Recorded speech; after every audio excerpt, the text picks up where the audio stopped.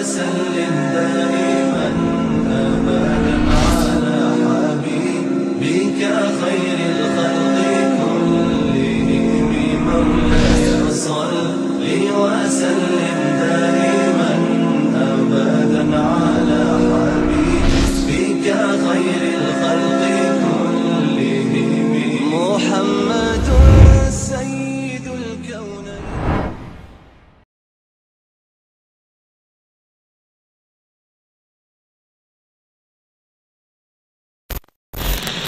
Assalamualaikum warahmatullahi wabarakatuh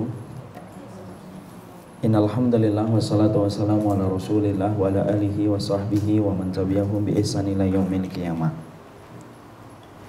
Bapak dan Ibu yang semoga Allah rahmati, ikhwan dan akhwat yang semoga Allah berkahi. Alhamdulillah kita senantiasa bersyukur kepada Allah atas seluruh kenikmatan dan kebaikan yang Allah limpahkan dan Allah berikan kepada kita. Tidak ada zat yang paling sempurna yang kita miliki selaku manusia yang lemah kecuali adalah Allah. Kepadanya kita beribadah dan kepadanya kita meminta pertolongan dan betul-betul orang yang diberikan pertolongan oleh Allah dia telah mendapatkan karunia yang besar dalam kehidupan beramal ibadah dalam penghambaan dia kepada Allah Subhanahu wa taala. Semoga kita senantiasa mampu merubah setiap kenikmatan menjadi ketaatan di jalan Allah karena sesungguhnya kenikmatan yang tidak berubah menjadi ketaatan maka kenikmatan itu akan berubah menjadi musibah besar dalam kehidupan kelak kita di akhirat. Karena sesungguhnya para salaf menyampaikan kullu nikmatin la tuqarribu minallahi. Setiap kenikmatan yang tidak menambah ketaatan kita pada jalan Allah, sesungguhnya kenikmatan itu akan berubah menjadi baliyah. Baliyah itu akan menjadi musibah dalam kehidupan dunia dan musibah dalam kehidupan kelak kita di akhirat karena sesungguhnya termasuk di antara perkara yang detail dihisap oleh Allah yaitu adalah perkara kebaya yaitu adalah perkara kenikmatan. Inilah yang menjadikan kita selaku orang yang beriman berusaha betul setiap kenikmatan yang ditambahkan oleh Allah kepada kita kepada anak dan kepada antum semoga kita mampu dan memiliki energi potensi untuk merubah kenikmatan menjadi ketaatan. Karena itulah yang akan menjadikan kita bahagia lapang dalam kehidupan di dunia dan bahagia dalam kehidupan kelak kita di akhirat. Semoga kita dalam perjalanan ilmu semakin mampu merubah setiap kenikmatan menjadi ketaatan. Karena sesungguhnya kita ingin membedakan dengan orang kafir dan orang munafik serta orang fasik. Orang fasik dan orang kafir dan munafik mereka selalu merubah kenikmatan menjadi kemaksiatan. Sehingga setiap bertambahnya kenikmatan bertambah pula kemaksiatan dan bertambah pula dosa-dosa mereka di hadapan Allah Subhanahu wa taala. Dan semoga kita bukan termasuk yang semacam itu dengan kita mengkaji ilmu, kita merubah setiap kenikmatan hidup menjadi ketaatan kita di jalan Allah Subhanahu wa taala. Kita akan menyampaikan dan akan meneruskan kajian kita yaitu adalah kajian panjang membahas tentang tafsir juz 30 Tentunya kita telah mengetahui bagaimana pentingnya dan betapa besarnya hajat kita kepada tafsir. Karena sesungguhnya di antara penyimpangan besar-besaran di dalam agama yaitu adalah ketika sekelompok manusia berani untuk menyampaikan dalil yang dibangun atas ayat tetapi tidak sesuai dengan pemahaman yang disampaikan oleh Nabi dan para sahabat. Makanya barang siapa yang mereka ingin benar dalam kehidupan ilmunya, Salah satu di antara piranti yang tidak boleh ditinggal yaitu adalah bagaimana dia menyampaikan tentang tafsir dengan pemahaman yang disampaikan oleh Nabi dan para sahabat ridwanullah alaihim. Siapa pun yang berani menyelewengkan ayat-ayat Al-Qur'an lalu mengambil dalilnya tidak sesuai dengan pemahaman yang disampaikan oleh Nabi, rusak kehidupan dia mengambil dalil dan rusak pola kehidupan dia ketika mengambil kesimpulan. Makanya sampai Syekhul Islam Ibn Taimiyah mengatakan man al Quran binggairi tafsiri sahabati faqad akhta'a fid dalil wal madlul. Sampai-sampai Syekhul Islam Ibn Taimiyah berkata, barang siapa yang telah menafsirkan Al-Qur'an tetapi dengan tafsir yang tidak disepakati oleh para sahabat, maka dia telah salah mengambil kesimpulan dalilnya dan telah salah pula di dalam mengambil kesimpulan dan hukum dari apa yang dia ambil. Dan hari ini kita tidaklah melihat kelompok yang menyimpang dari Syiah, Khawarij dan Murji'ah, Qadariyah dan Jabariyah dan kelompok-kelompok menyimpang yang lainnya dalam hal pemikiran kecuali bukan karena mereka tidak memiliki dalil tetapi mereka memiliki dalil yang mampu mereka datangkan seabrek-abrek dalil tapi dalil itu sesuai dengan versinya mereka tanpa melalui proses pemahaman yang utuh ketika menyampaikan dalil itu. Inilah yang menjadikan kita betul-betul berpegang kepada ilmu kita mengkaji secara sabar satu persatu setiap ayat yang kita baca supaya kita tidak terprosok kepada satu pemahaman yang menyimpang dari apa yang disampaikan oleh Rasulullah dan para sahabat Ridwanullah alaihim. Kita mengerti hari ini Masya Allah zaman fitnah. Fitnah berlapis-lapis gelapnya betul-betul gelap gulita. Maka tidak ada obat getirnya dari pekatnya zaman fitnah kecuali adalah ketika kita berpegang dengan apa yang disampaikan oleh Allah tentunya dengan pemahaman yang benar sebagaimana yang disampaikan oleh Nabi sebagai orang yang diturunkan kepadanya Al-Quran dan menyampaikan sesuai dengan pemahaman para sahabat yang mereka menyaksikan bagaimana Quran diturunkan dan bagaimana Quran itu disampaikan oleh Rasulullah SAW. Semoga kita senantiasa betul-betul tidak pernah lupa meminta pertolongan kepada Allah. Beberapa hari ini saya merasa sangat berat melihat kondisi agama yang semakin menjadi bahan fitnah dan kita mendapati bahwasanya kebenaran hari ini begitu sulit untuk ditemukan kecuali orang-orang yang mereka diberikan rahmat oleh Allah Subhanahu wa taala. Makanya sampai-sampai kita ini perlu sekali untuk mengucapkan doa yang dicontohkan oleh Rasulullah SAW ketika Rasulullah SAW menyampaikan sebuah doa yang indah. Allahumma arinal haqqa haqqa warzuqna tiba'ah wa arinal batila batila warzuqna istinabah.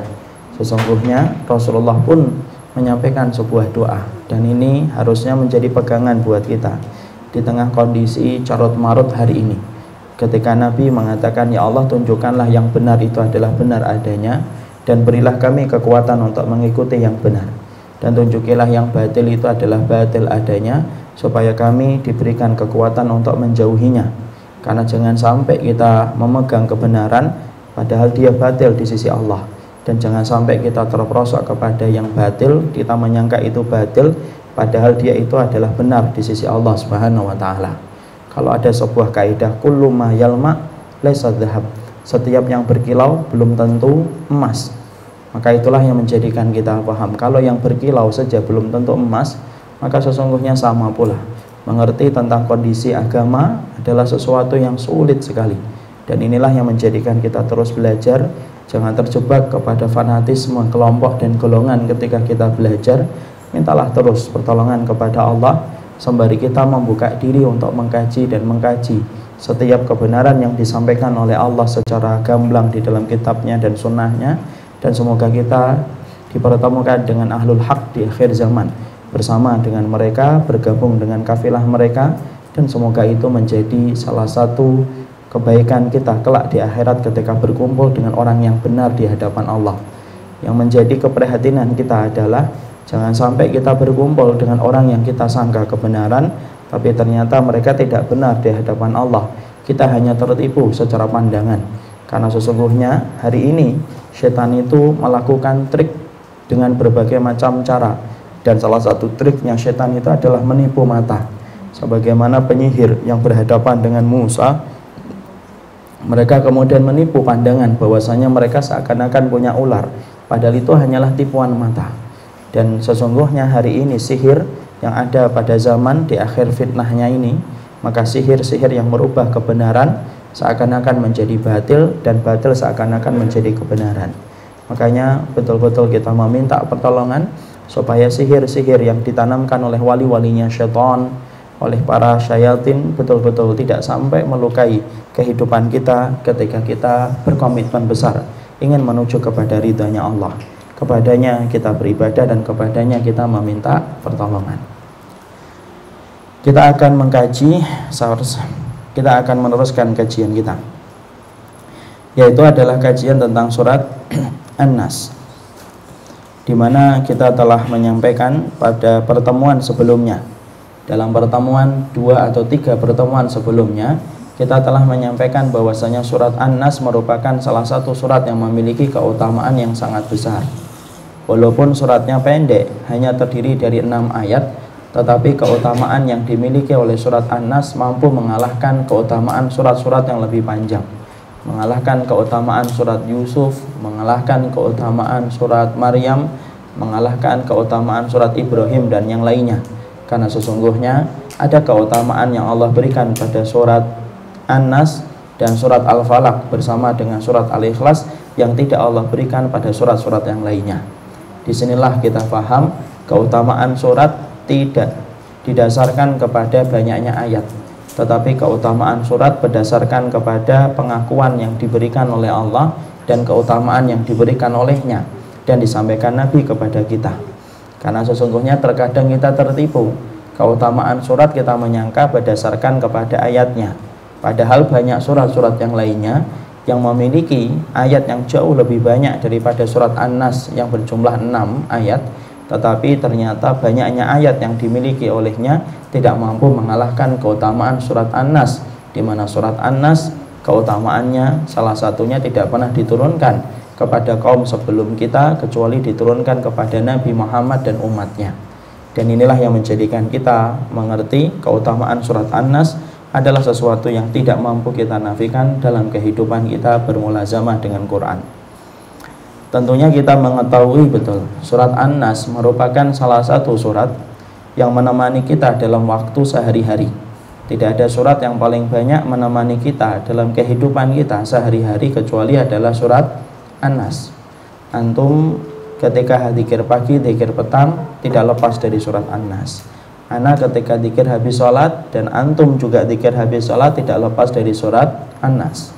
Ketika kita menjelang tidur tidak lepas dari surat An-Nas bersama dengan dua surat yang menjadi paketnya. Apa paketnya? Al-Falaq dan kemudian surat Al-Ikhlas.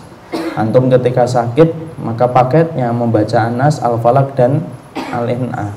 An-Nas, Al-Falaq dan Al-Ikhlas semua itu menunjukkan tidak ada surat yang paling banyak menemani hari-hari kita di dalam kita melewati waktu yang Allah berikan kecuali ayat dan surat yang paling banyak menemani kita yaitu adalah surat An-Nas bergandengan dengan surat Al-Falaq dan bergandengan dengan surat Al-Ikhlas. Ayat yang paling banyak menemani kita dalam sehari-hari ayat kursi. Tapi surat yang paling banyak menemani kita yaitu adalah satu paket Al-Ikhlas, Al-Falaq dan An-Nas dan Allah memberikan itu dalam surat ayat-ayat yang pendek karena sesungguhnya saking besarnya rahmat yang Allah berikan Allah tidak ingin menyulitkan karena Allah itu menginginkan kemudahan bagi hambanya dan tidak menginginkan yang sulit. Sampai Allah utamakan tiga surat itu dengan ayat-ayat yang pendek karena Allah tahu batas kemampuan manusia yang Allah ciptakan semacam apa. Jadi kita bayangkan kalau surat Al-Ikhlas, Al-Falaq dan An-Nas panjangnya sebagaimana surat Al-Baqarah. Makanya tentunya akan sedikit sekali orang yang menghafalnya. Tetapi ketika kita dijadikan bahwasanya surat Al-Falaq, Al-Ikhlas dan An-Nas urutannya adalah surat Al-Ikhlas 4 ayat, Al-Falaq itu adalah 5 ayat, An-Nas itu adalah 6 ayat. Maka itu meringankan betul bagi kita. Coba kalau antum kemudian ditakuti oleh setan dan salah satu di antara sunnahnya ketika kita ditakuti atau takut dan gemetar menghadapi setan kan membaca surat An-Nas kalau jumlahnya surat An-Nas 100, Masya Allah. Antara membagi takut dengan mengulang hafalan itu jadi susah. ya. Jadi kemudian akhirnya nggak jadi takut, tapi lebih kepada sedih karena dia ternyata di tengah-tengah surat tidak hafal. Dan setannya juga mikir ini hafal enggak sih. Tapi ketika dijadikan itu pendek, akhirnya Allah memudahkan karena sesungguhnya Allah menginginkan kemudahan dan tidak menginginkan yang sulit. Bersyukurlah kita punya Rob yang tidak pernah menyulitkan kehidupan makhluknya dan tidak pernah menyulitkan kehidupan hamba yang beriman. Yang menyulitkan diri kita adalah diri kita dan nafsu kita sendiri.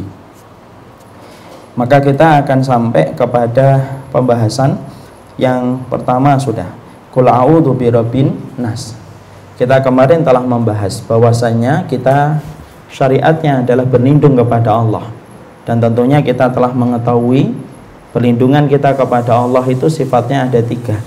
Ada yang hukumnya wajib, yaitu adalah berlindung kita kepada Allah secara langsung. Yang kedua, berlindung kepada Allah dengan kalimat-kalimatnya yang Allah turunkan di dalam kehidupan. Ketika kita berlindung kepada Allah secara langsung, kita menyebut Allah. Dan berlindung dengan kalimat-kalimatnya, kita membaca ayat-ayatnya, dan ketika kita membaca zikir-zikir yang disampaikan oleh Rasulullah Wasallam maka itu adalah hukumnya wajib karena tidak ada tempat pelindungan bagi seorang mukmin kecuali adalah kepada Allah Subhanahu wa taala. Tentunya saya masih ingat dalam pembahasan kita sebelumnya tentunya kita paham bahwasanya siapa pun yang dia takut kepada Allah semata maka Allah akan menjadikan seluruh makhluk itu akan takut kepadanya sebesar takutnya dia kepada Allah. Tapi siapa pun yang dia telah takut kepada selain Allah, maka akan dia jadikan, maka Allah akan menjadikan manusia itu ketakutan kepada semua perkara dalam hidupnya ketika dia telah menjatuhkan ketakutan itu bukan kepada Allah semata.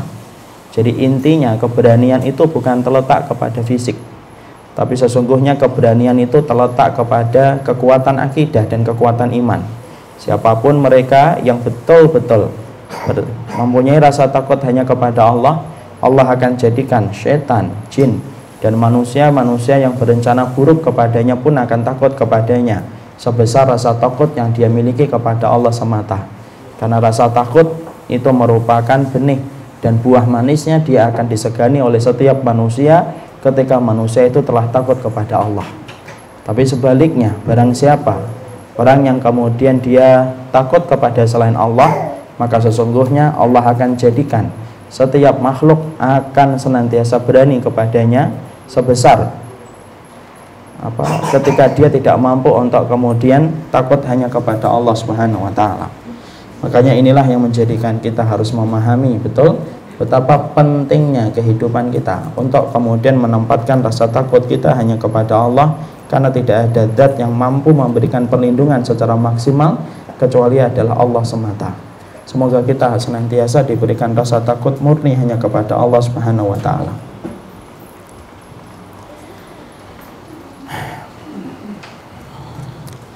Sekarang kita bahas ayat yang keempat.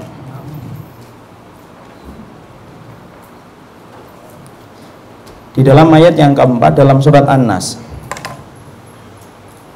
Allah menyampaikan di dalam ayat ini kita berlindung kepada Allah yang sempurna yang menjadi Rabbnya manusia dan menjadi rajanya manusia dan menjadi sesembahan bagi manusia dari apa kita ini berlindung diri kepada Allah maka disebutkan di dalam ayat ini sesungguhnya seorang mukmin itu berlindung diri kepada Allah dari sesuatu yang sifatnya buruk dan sesuatu yang sifatnya buruk disampaikan pada ayat yang keempat min syarril waswasil khannas yaitu adalah dari kejahatan-kejahatan bisikan setan yang terbiasa untuk bersembunyi. Di sini kita akhirnya mengetahui di antara bentuk kejahatan di mana kita tidak mampu untuk melawannya kecuali adalah pertolongan yang Allah berikan kepada orang yang beriman ketika berlindung diri kepadanya yaitu adalah keburukan dari kejahatan setan yang terbiasa bersembunyi di dalam hati kita. Jadi ternyata di sini kita memahami di antara keburukan yang besar yang menimpa kepada orang yang beriman ketika mereka beribadah kepada Allah. Ketika dia menapak pada jalan ketaatan dan jalan kebenaran, maka sesungguhnya dia pasti akan menghadapi musuh. Karena sesungguhnya panggung kebenaran itu sedikit pengunjungnya, banyak komentatornya, dan sesungguhnya panggung kebenaran itu banyak musuhnya. Dan sesungguhnya Allah itu ketika menciptakan musuh bagi orang yang berjalan di atas panggung kebenaran, karena sesungguhnya Allah ingin menguji siapa orang yang bersabar dan siapa yang tidak bersabar. Sebelum kita membahas tentang bisikan, kita harus paham dulu bahwasanya Allah menyebutkan di dalam surat Al-An'am bahwasanya dalam surat Al-An'am Allah menyampaikan wa kadzalika ja'alna likulli nabiyyin aduwan syayatinal insi wal jinni sesungguhnya kami jadikan bagi setiap para nabi itu adalah musuh dari kalangan jin dan kalangan manusia jadi setiap orang yang mereka itu menyampaikan kalimat kebenaran layaknya Nabi dan layaknya Rasul, maka sesungguhnya mereka pasti akan mendapatkan musuh dalam kehidupan ketika dia menyampaikan sebagaimana yang disampaikan oleh Nabi. Jadi tidak ada orang yang mereka berjalan di atas keimanan kemudian sepi dan tidak memiliki musuh. Karena fitrahnya Allah telah sampaikan bahwasanya setiap orang yang berjalan di atas kebenaran mereka selalu akan mendapatkan musuh yang telah dipersiapkan oleh Allah karena Allah ingin melihat siapa yang bersabar di atas jalan kebenaran dan siapa yang tidak sabar di atas jalan kebenaran. musuh-musuh ini akan mencoba untuk kemudian mengganggu perjalanan manusia yang beriman menuju kepada Allah. Dan dia akan berusaha bagaimana menceraikan manusia dari jalan kebenaran yang telah diperintahkan dan ditetapkan oleh Allah di dalam kitabnya. Dan itu musuh-musuh tersebut ada yang menggunakan cara-cara yang lembut dan ada yang menggunakan cara-cara yang kasar. Sebagaimana kita mendapati bahwasanya musuh itu terbagi menjadi dua yaitu dari dari kalangan jin dan kalangan manusia. Makanya kalau ada orang yang berjalan di atas kebenaran tapi ternyata dia tidak dimusuhi oleh musuh-musuhnya Allah, maka sesungguhnya pertanyaan yang penting untuk disampaikan adalah apakah dia berjalan di atas kebenaran ataukah tidak? Karena sesungguhnya fitrahnya ketika orang itu berjalan di atas kebenaran selalu memiliki konsekuensi untuk memiliki musuh dalam kehidupan. Ya. Karena panggung kebenaran sekali lagi banyak sekali musuhnya. Sebagaimana musuh yang Allah berikan kepada setiap para nabi ketika mereka menyampaikan kalimat kebenaran. Makanya betul apa yang dikatakan oleh Imam Syafi'i dalam salah satu riwayat disebutkan. Kalau kamu ingin melihat orang itu berjalan di atas kebenaran, maka lihatlah ke mana arah panah musuh-musuh Allah itu mengarah. Karena apa? Karena iblis itu tidak pernah salah memilih musuh kalau kita bisa mengatakan iblis dari kalangan jin itu adalah sesuatu yang tidak terlihat, perhatikan di atas muka bumi ini yang betul-betul memerangi Allah dan Rasulnya itu mana? Dan perhatikan musuh-musuh mereka. Kenapa? Sekali lagi, iblis tidak pernah salah memilih musuh, sebagaimana iblis dari kalangan jin tidak pernah salah memilih musuh, sebagaimana iblis dari kalangan manusia pun tidak pernah salah memilih musuh. Makanya perhatikan itu. Karena bisa jadi ada orang yang berjalan di atas kebenaran, tetapi dia ingin diridhoi oleh setiap orang. Dia ingin diridhoi oleh para pelaku-pelaku kebatilan. Dia ingin diridhoi oleh pemain-pemain kesyirikan. Dia ingin diridhoi oleh setiap orang yang berjalan di atas kebatilan. Maka sesungguhnya kebenaran tidak pernah mampu untuk bersatu dan tidak pernah mampu bertemu dengan kebatilan. Sebagaimana air tidak pernah mampu ketemu dengan minyak. Sebagaimana kucing tidak pernah mampu untuk bertemu dengan anjing kecuali mereka bertengkar dan fitrah itu adalah selalu berjalan dan tidak akan pernah terpisahkan sampai hari kiamat. Jadi hakikatus sirak, pertentangan antara yang hak dan yang batil itu tua seiring dengan tuanya umur umat manusia di atas muka bumi ini. Dan sesungguhnya itu pasti ada. Jadi orang-orang yang berjalan di atas kebenaran perhatikan siapa yang kemudian ke mana arah panahnya musuh itu mengarah. Di situlah kita akan mendapati ahlul hak adalah orang yang senantiasa dimusuhi oleh orang-orang kafir, dimusuhi oleh orang-orang musyrik yang mereka senantiasa tidak pernah berhenti untuk memadamkan cahaya Allah. Siapa pun yang dimusuhi oleh orang kafir yang memerangi Allah dan Rasulnya, siapa pun yang diperangi oleh orang musyrik yang berusaha memadamkan cahaya Allah, maka perhatikan mereka. Kalau mereka berjalan di atas kitabullah dan sunnah, maka itulah kriteria kebenaran yang dimiliki oleh mereka dan mereka adalah orang yang tidak pernah peduli dengan celaan manusia ketika berjalan di atas kebenaran. Makanya inilah yang menjadikan akhirnya kita memahami orang kalau sudah berjalan di atas kebenaran maka dalam hidupnya akan diberikan oleh Allah dengan banyak sekali musuh dan Allah memberikan itu menjadi hikmah besar. Allah ingin melihat siapa yang bersabar di atas musuh-musuh Allah dan siapa yang tidak mampu bersabar dan istiqomah ketika menghadapi itu datang dan menyapa dalam hidupnya ketika kita telah mengetahui ketika kita telah mengetahui bahwasanya adanya musuh dalam kehidupan kita maka sesungguhnya musuh itu kemudian ada dua yaitu adalah musuh yang kemudian datang dari kalangan jin dan musuh datang dari kalangan manusia. Dan sesungguhnya musuh yang datang dari kalangan jin adalah sesuatu musuh yang tidak terlihat dalam kehidupan kita. Jadi kalau musuh dari kalangan manusia maka kita lebih mudah untuk menghadapinya. Dengan kita berusaha untuk kemudian berkorban untuk kita berikan pada agama kita dengan harta kita dan harta kita dan darah kita maka menghadapinya lebih mudah bagi orang-orang yang telah diberikan oleh Allah dengan rahmat. Tapi menghadapi musuh dari kalangan jin adalah sesuatu yang sulit karena sesungguhnya kita tidak mampu melihat mereka tetapi mereka mampu melihat kita secara fisiknya Makanya di sini kita mendapati pada ayat yang keempat Allah menyampaikan di antara kejahatan itu adalah kejahatan bisikan setan yang biasa tersembunyi. Maka kejahatan bisikan setan yang tersembunyi itu apa? Kejahatan setan. Karena sesungguhnya ternyata bisikan yang bisa merubah dari kebenaran lalu berubah menjadi kebatilan salah satunya adalah ditiupkan oleh para setan oleh para setan yang mereka berjalan dan mereka mengalir dalam aliran darah. Makanya kita juga mendapati dalam sebuah hadis kita ini juga berhadapan bukan hanya dengan setan tetapi kita juga menghadapi korin. Korin itu apa? Yaitu adalah pendamping dari kalangan jin yang selalu mendampingi kita. Nah, kita pisah dulu. Jadi yang pertama, kita pasti akan menghadapi apa? Korin. Korin ini sebagaimana yang telah disebutkan, setiap manusia itu pasti punya korin. Anak punya korin, antum punya korin. Siapa pun manusia itu pasti punya korin.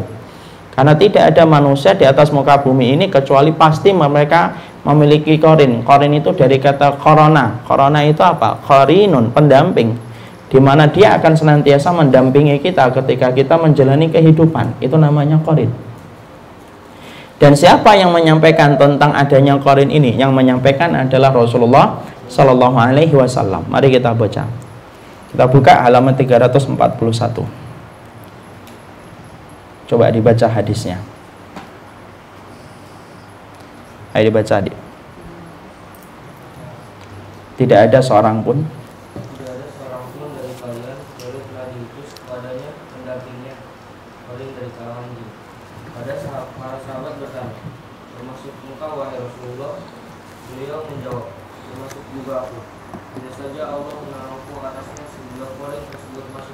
Ya. Al ya, teruskan.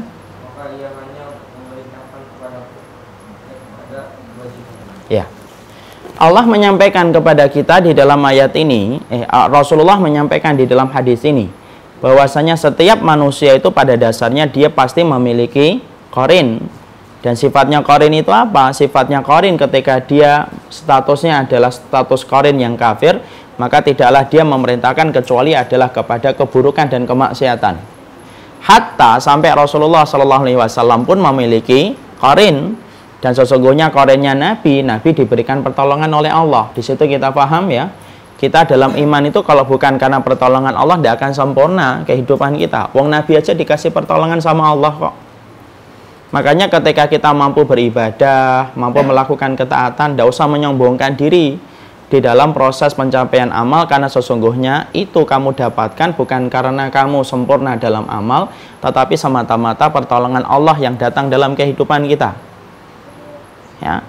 Makanya sampai Nabi pun tidak malu untuk menceritakan bahwasanya dia diberikan pertolongan oleh Allah. Makanya orang yang sempurna dalam iman adalah orang yang mereka sempurna dikasih pertolongan oleh Allah Ya, makanya apa pun yang kita dapatkan dalam kehidupan dan ujian dalam agama, mintalah tolong sama Allah.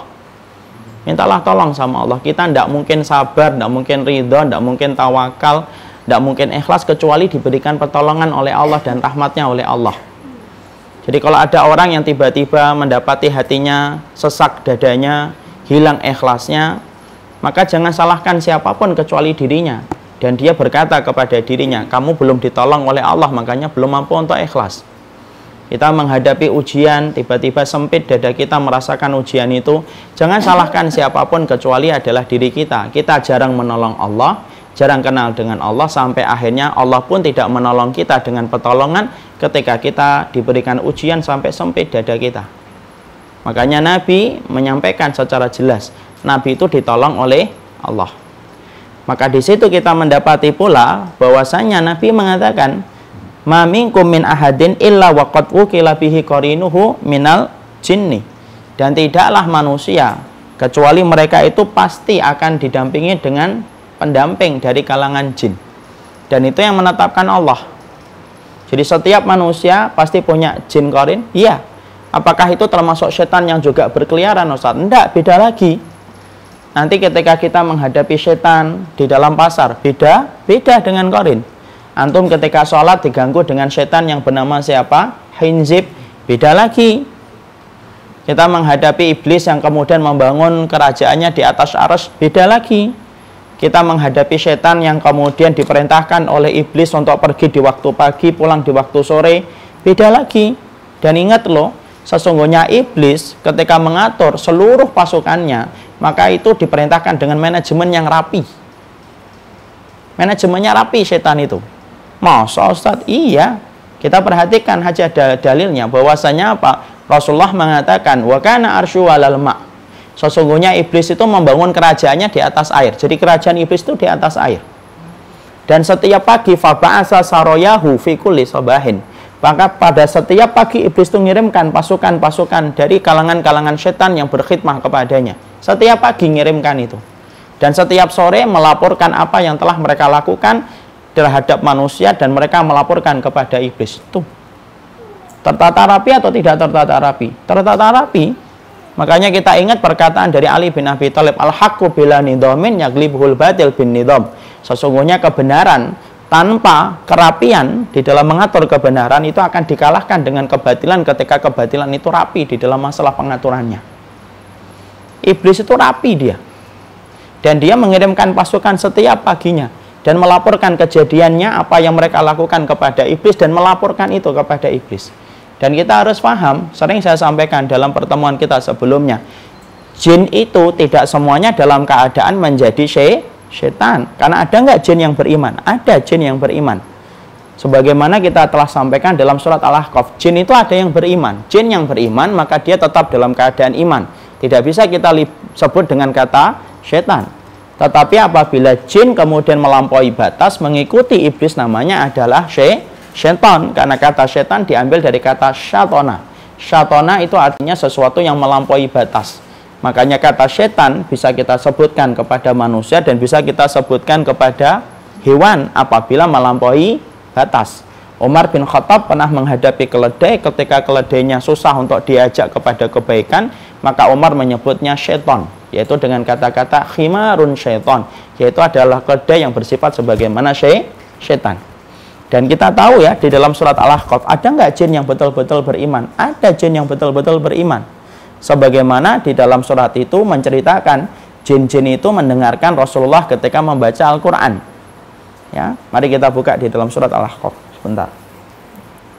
Sebelum kita jelaskan panjang. Surat Al-Ahqaf. Al-Ahqaf 46.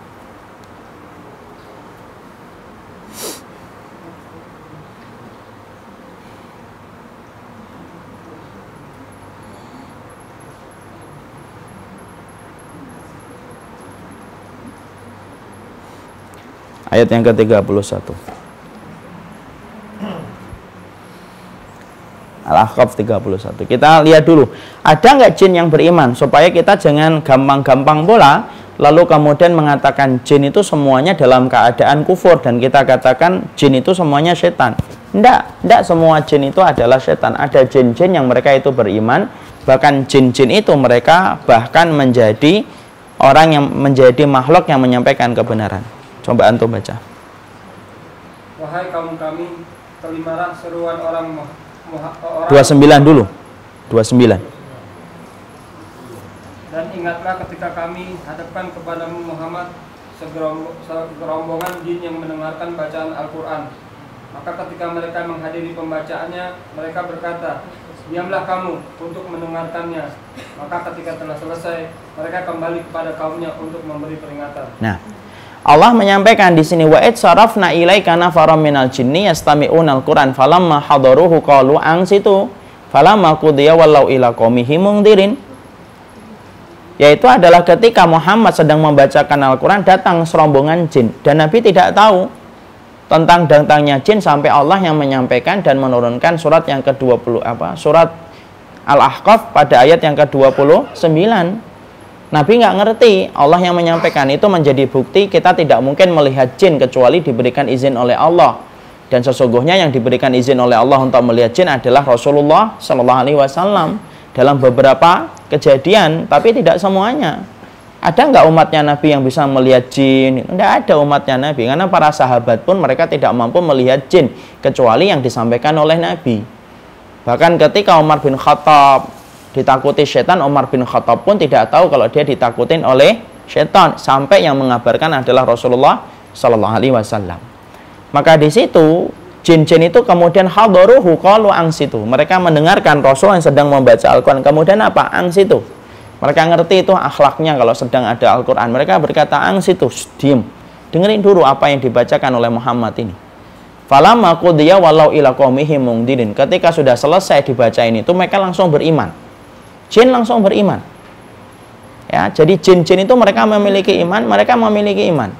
Mereka kemudian pulang kepada kaumnya mungdirin memberikan peringatan. Lihat, mereka kemudian berkata apa? Qalu ya qaumana inna sami'na kitaban unzila min ba'di Musa musaddiqan lima baina yadayhi yahdi ilal haqqi wa ila tariqim mustaqim. Baca artinya. Mereka berkata, Wahai kaum kami, sungguh kami telah mendengarkan kitab Al-Quran yang diturunkan setelah Musa, membenarkan kitab-kitab yang datang sebelumnya, memimpin kepada kebenaran dan kepada jalan yang lurus. Ini menunjukkan umur-umur jin itu diberikan panjang oleh Allah karena mereka melihat riwayat pada kitab-kitab sebelumnya. Dan kemudian apa? Musaddiqal lima baina yadayhi. Membenarkan apa yang ada sebelumnya yahdi ilal haqqi wa ila tariqi mustaqim. Menunjukkan kepada jalan kebenaran dan kepada jalan yang lurus. Artinya apa? Jin saat itu ketika turun kepada Rasulullah itu adalah Quran, maka jin-jin itu langsung beriman sebagaimana mereka beriman pada kitab Taurat dan kitab Injil pada sebelum-sebelumnya yang diturunkan kepada Musa dan diturunkan kepada Isa. Masya Allah. Jadi yang jin itu kayak manusia, dia nikah atau tidak nikah? Nikah.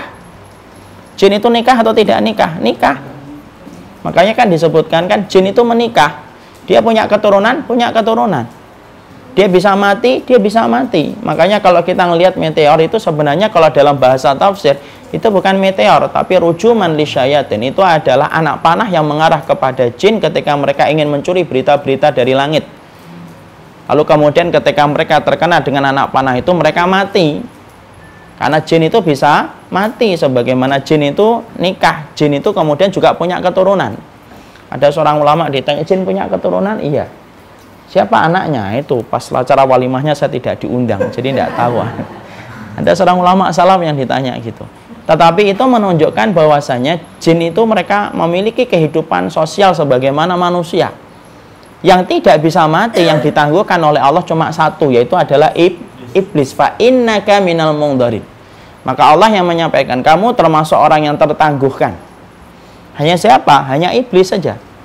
Adapun jin-jin itu kemudian mereka layaknya manusia. Dan mereka kemudian ada yang beriman dan mereka ada yang menjadi dai Mana buktinya mereka menjadi dai? Nah, perhatikan pada ayat yang ke-31 ketika jin itu menjadi ustadz dan jin itu menjadi dai ayat 31. Wahai kaum kami, terimalah seruan Muhammad yang menyeru kepada Allah dan berimanlah kepadanya. Niscaya dia akan mengampuni dosa-dosamu dan melepaskan kamu dari azab yang pedih. Ya. Ya kaum mana ajibu da'i Allah. Mereka langsung beriman, lalu mereka langsung berdakwah. Artinya, mereka ngerti salah satu fase dalam iman bukan hanya beriman tapi harus menyampaikan. Makanya mereka langsung mendakwah, nah, mendakwahkan. Ya qaumana ajibu da'iyallahi wa aminu bihi yaghfir lakum min dunubikum wa yujirkum min adabin alim. Wahai kaum kami, maka penuhilah seruan dari Allah dan berimanlah kepadanya. Allah mengampuni kamu dosa-dosamu dan menjaga kamu dari adab yang pedih. Di sini kita paham ada jin yang mereka beriman dan mereka memiliki kewajiban sebagaimana manusia. Mereka beriman, mereka beramal solih dan mereka menyampaikan keimanan itu kepada serombongan dan golongan mereka yaitu adalah golongan golongan jin. Apakah turun kepada mereka nabi dan rasul secara khusus? Tidak. Sesungguhnya nabi dan rasul dari kalangan manusia menjadi nabi dan rasul bagi kalangan mereka.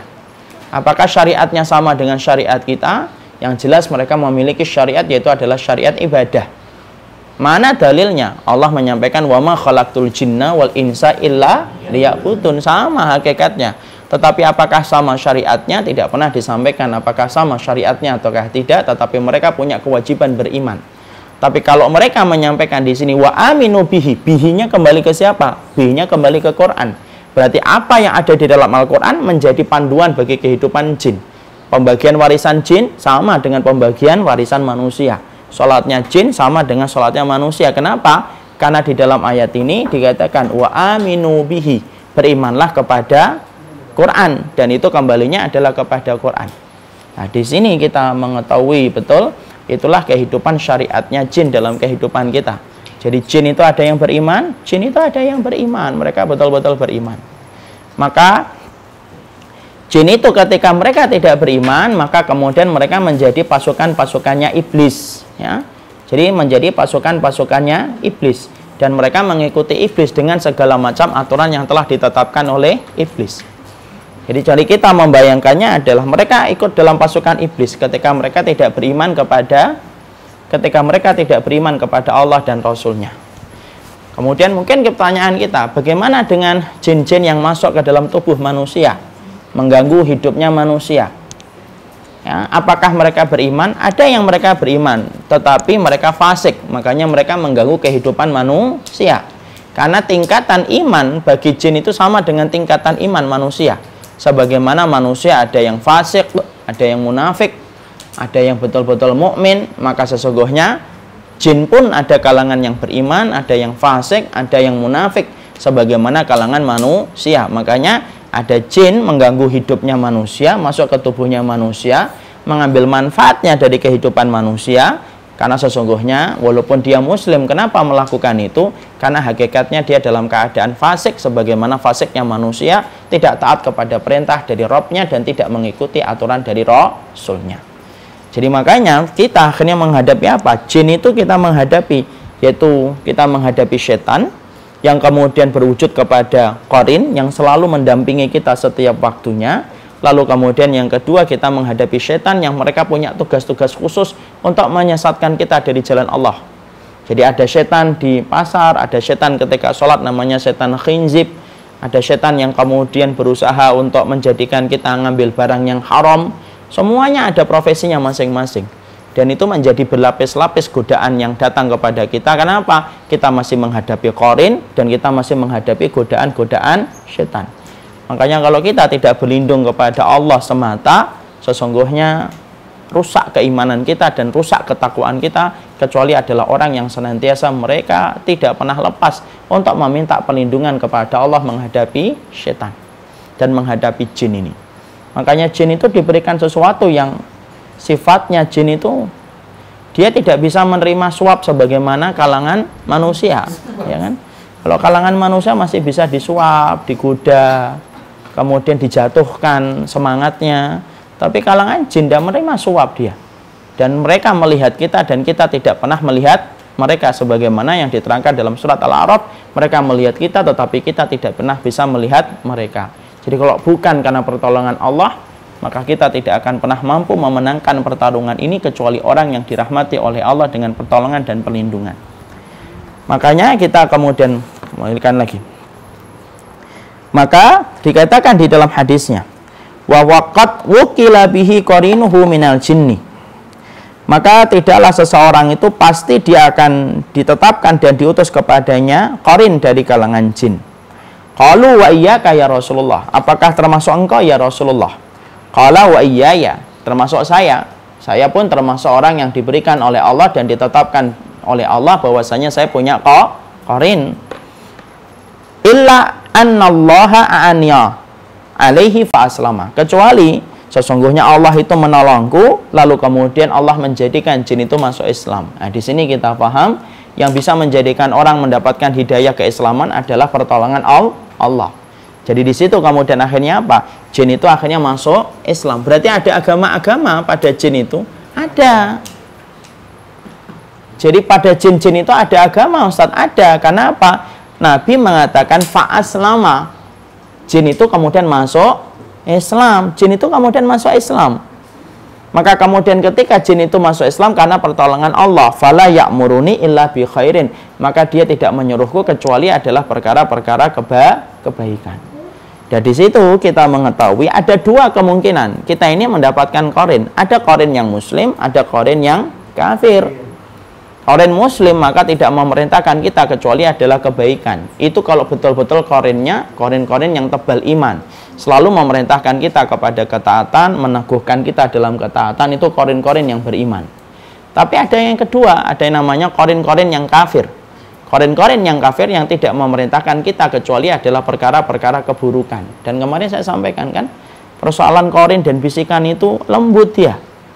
Contohnya apa? Korin-korin itu beraksi ketika melaksanakan aksinya antum mendengar satu berita yang asalnya tidak suudon tiba-tiba mulai timbul suudon nah itu korin bekerja di situ Ya. Lalu kemudian ketika kita akan melakukan kebaikan, kita urungkan kebaikan itu. Nah, itu korin. Yang paling kentara itu kalau kita ingin sholat malam, kemudian sudah bangun jam 2, setelah bangun jam 2 kita berkata sama diri kita sebentar deh tidur lagi 5 menit nambah. Bablas itu sampai kemudian subuh. Nah itu namanya korin itu. Kita utang. Kita sering nggak utang? Kemudian kita yakin nanti di akhir bulan kalau sudah dapat gaji bayar itu gampang. Tapi apa yang terjadi di akhir bulan gaji sudah dapat kemudian pengen bayar utang itu beratnya luar biasa. Itu aksinya korin itu. Dia nempel terus dan akhirnya mempengaruhi kita akhirnya kita urung melakukan kebaikan. Itu korin. Ibu-ibu pengen ngaji tapi kemudian ngelihat rumahnya kordennya bengkong dikit lurusin. Piring yang asalnya ini dicuci. Akhirnya apalah tidak jadi ngaji deh. Banyak kerjaan rumah yang tidak selesai. Itu korin. Itu korin orang ketika akan bertobat ya kan tiba-tiba mengatakan nanti aja deh ketika saya sudah pensiun. Itu korin. Dari korin itu membisikkan terus. Kita akan melakukan kebaikan kita mendapatkan nasihat tiba-tiba sudah pengen mengamalkan nasihat itu tiba-tiba hati kita mengeras kembali. Nah, itu korin dia. Dia bermain di wilayah hati dan tidak pernah keluar dari wilayah hati. Makanya Syekh Husaymin sampai menerangkan korin itu bekerja 24 jam 24 jam makanya Hasan Al Basri pernah ditanya korin itu apakah punya istirahat tidak, dia tidak punya istirahat. Sampai ketika kita tidur pun setan itu masih bekerja. Makanya setan itu dan korin itu bisa masuk ke dalam mimpi-mimpi kita. Makanya dalam hadis yang sahih sampai diterangkan mimpi itu ada tiga. Satu mimpi datang dari Allah, dua mimpi datang dari setan, yang ketiga mimpi datang dari apa yang biasa kita pikirkan ketika terjaga. Dan ternyata sampai-sampai setan itu mampu untuk kemudian merongrong kita dalam mimpi kita. Makanya sampai tingkat ekstrimnya gimana? Orang yang mimpi ketika habis bangun dari mimpi, dia terbebani dengan mimpinya, melakukan tindakan yang diharamkan oleh Allah. Gara-gara bisikan mimpi yang kemudian dia dapatkan. Ekstrimnya korin itu sampai apa kalau kita sudah lemah? Ekstrimnya korin itulah yang menyuruh kita sampai perbuatan dosa besar. Pernah nggak kita melihat ada orang membunuh anaknya, tetapi dia ketika ditanya, kenapa kamu bunuh anakmu? Karena ada bisikan. Nah, itu korin itu. Udah berat itu. Ya, kemudian menyuruh orang untuk mati bunuh diri. Dia kemudian dikacaukan pikirannya. Sampai kemudian tidak bisa mikir apa-apa. Blank. Hidupnya itu blank. Kemudian termenung. Nah, itu korin itu. Hal korin itu kemudian bersatu padu dengan syahwat dan terbebani dengan banyak pikiran Makanya kemudian ada pasti ada pemicunya dan kalau dibiarkan terus bertumpuk-tumpuk. Pernah nggak kita ngelihat masa-masa seseorang yang kita kenal tiba-tiba melewati masa-masa berat, kecanduan dengan sesuatu tetapi susah untuk ditarik dari kecanduan itu. Itu nah, salah satu dari antara korin itu. Ya. Teman saya pernah terkena salah satu bisikan setan dalam masalah ringan tapi bertambah-tambah sampai akhirnya puncak-puncaknya dibuat kacau pikirannya Masuknya dari mana? Dari penyakit was-was yang dibiarkan. Ingat loh, penyakit was-was itu salah satunya datang dari setan. Penyakit was-was itu gimana sih? Tidak merasa yakin. Kalau wudhu, Allahu Akbar, ulang lagi. Allahu Akbar, ulang lagi. Allahu Akbar, ulang lagi. Wudhu diulang-ulang. Itu setan itu. Itu pintu awal masuknya setan itu menjadi lebih kuat itu dari semacam itu was-was. Kadang-kadang kita tidak mencoba untuk menepis, tidak nyari terapinya. Maka akhirnya menjadi-jadi Pernah nggak kita ngelihat ada orang ketika kena kotoran di tangannya dibersihkan? Terus gitu. Dan kalau ditanya kenapa kok sudah sudah bersih? Dia merasa masih ada tainya di sini. Terus dia bersihkan terus. Dia tidak merasa ya tidak merasa mantap dia. Apa yang terjadi? Ditambah tambah tambah tambah tambah tambah sampai qadarullahu ini kisah nyata sampai beliau itu ketika wudhu itu sampai setengah jam lebih Padahal asalnya pinter, termasuk lima besar, di pondok itu lima besar. Di pondok lima besar, kemudian terus bertumpuk-tumpuk, terus sampai kemudian mandi lama banget, sholat itu lama banget. Yang lain sudah selesai, dia masih takbiratul ikhram. Dan kalaupun dikasih tahu, ayo sholat sudah bismillah, sholat, dia merasa tidak mantep, dimarahin apa pun, diberikan hukuman, sudah kebal, seakan-akan tidak berpengaruh kepadanya sampai ada yang nemenin itu sampai ada yang nemenin gitu. Jadi kalau pas sholat itu terus suruh dipegang itu supaya dia nggak ngulang lagi gitu. Udah kalau dipegang diem. Diem dia. Sampai yang megang nggak sabar. Nah kalau udah megang nggak sabar dilepaskan. Nah dia gitu lagi. Allah terus dia. Sampai puncaknya kita sore-sore saya masih ingat sore-sore tiba-tiba dia berkata kalau Allah itu menciptakan kita lalu siapa yang menciptakan Allah? Kok tiba-tiba Allah itu ada kenapa kok tiba-tiba Allah menciptakan manusia? Kenapa saya tiba-tiba ada? Terus itu nggak terhenti. Dan qadarallahu yasa sampai hari ini beliau masih kayak gitu keadaannya. Bisa sampai kayak gitu? Bisa lah. Wong kita sampai diperintahkan untuk berlindung kok. Min syarril waswasil khanas itu karena kemudian dampaknya yang sedemikian dahsyatnya dalam kehidupan itu kayak gitu khanas itu makanya pengaruh korin itu betul-betul kuat dan itu semakin kuat ketika kita tidak berpegang kepada Allah Subhanahu wa taala Makanya orang kalau sampai dia bunuh diri itu biasanya korin yang kuat itu yang dia ikutin. Jadi peristiwa sampai-sampai para ulama salaf itu mengatakan kalau ada orang yang sampai mati bunuh diri itu biasanya karena korin yang mendorong dia untuk melakukan perbuatan itu.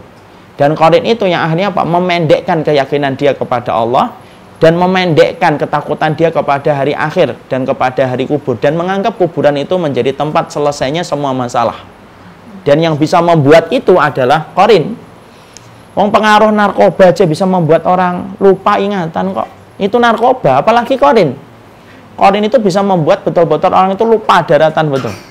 Jangan sampai akhirnya kemudian dia mengikuti apa yang dibisikkan oleh setan untuk kemudian melakukan perbuatan itulah. Dahsyat yang korin itu apa? Sampai bisa membunuh anaknya sendiri karena bisikan-bisikan yang sering didapatkan. Makanya kan penyakit kejiwaan biasanya sering berkata apa? Penyakit kejiwaan itu biasanya ada bisikan, kan gitu. Orang-orang yang ketika mereka terbebani dengan syaraf itu selalu berkata ada ada yang membisikkan saya, ada yang membisikkan saya. Nah, itu termasuk di antara bentuk yaitu adalah makarnya ko, korin. Makanya di sinilah kita kemudian mendapati setiap manusia pasti mendapati ko, korin. Bisa nggak kita mendakwai korin dan bisa nggak kita kemudian meminta kepada atau berdakwah kepada korin yang tidak mampu. Yang bisa kita lakukan apa? berlindunglah diri kepada Allah setiap waktunya, berlindunglah diri kepada Allah setiap waktunya. Dan kita selalu berlindung diri dari segala makarnya syaitan supaya kemudian kita dikembalikan kepada jalan kebenaran. Makanya di sinilah kita mengetahui sesungguhnya setiap manusia selalu memiliki korin dan sesungguhnya korin itu akan ada sampai detik-detik kita meninggal dunia. Makanya kenapa? Rukyah itu salah satu di antara pengaruh buruk yang kemudian bisa kita lakukan untuk mengusir pengaruh buruk itu. Tapi kalau korin kan terus, Pak. Korin itu tidak sebagaimana masuknya jin ke dalam tubuh. Dia membisikkan dia. Kalau kemudian masuknya setan ke dalam tubuh kita itu dirukyah. Tapi kalau kemudian membisikkan maka itu betul-betul dengan keimanan yang mampu mengalahkan segala macam makarnya kok korin. Makarnya korin itu dilawan dan makarnya korin ketika kita melawan ya dengan keimanan dan ketakwaan kita. Dan korin itu terus ada sampai detik-detik kita meninggal dunia. Makanya sampai-sampai diterangkan ketika sakaratul maut pada saat itulah terjadi pertempuran besar antara antara keimanan dengan korin. Karena korin itu apa? Menyuruh manusia untuk kufur kepada Robnya. Makanya kita di dalam peristiwa sakaratul maut kita disunahkan untuk tidak meninggalkan orang yang sakaratul maut kecuali menemani terus menerus ya kan? Makanya kita ngingetin kan di telinganya terus. Kenapa? Karena pada saat itulah bisikan-bisikan itu luar biasa. Jangan kita mengira bahwasanya orang ketika sakratul maut itu tidak digoda oleh setan dan tidak digoda oleh korin. Enggak justru pada saat itulah gangguan setan itu sedang dahsyat-dahsyatnya dan kita sedang lemah-lemahnya. Jadi ingat ya jadi ketika peristiwa sakratul maut itu peristiwa ketika orang itu berada pada titik yang paling rendah dalam fisiknya tetapi sedang kuat-kuatnya pengaruh setan itu. Ya, makanya kemudian apa yang akhirnya terjadi? Ya bisa jadi orang itu akhirnya termakan dengan bisikan setan dan akhirnya bisa melakukan perbuatan kufur dan mati bunuh diri pun bisa bukankah kita dihentakkan oleh sebuah hadis dikagetkan dengan sebuah hadis kan ketika Nabi mengatakan kalian lihat orang ini penduduk surga atau penduduk neraka? Para sahabat mengatakan penduduk surga ya Rasulullah. Kenapa? Karena banyaknya musuh-musuh Allah yang tertebas dengan pedangnya. Dan pedangnya berlumuran darahnya musuh-musuh Allah. Tapi Nabi menjawab singkat, La innahu min ahlin nar. Enggak, dia itu sesungguhnya penduduk neraka.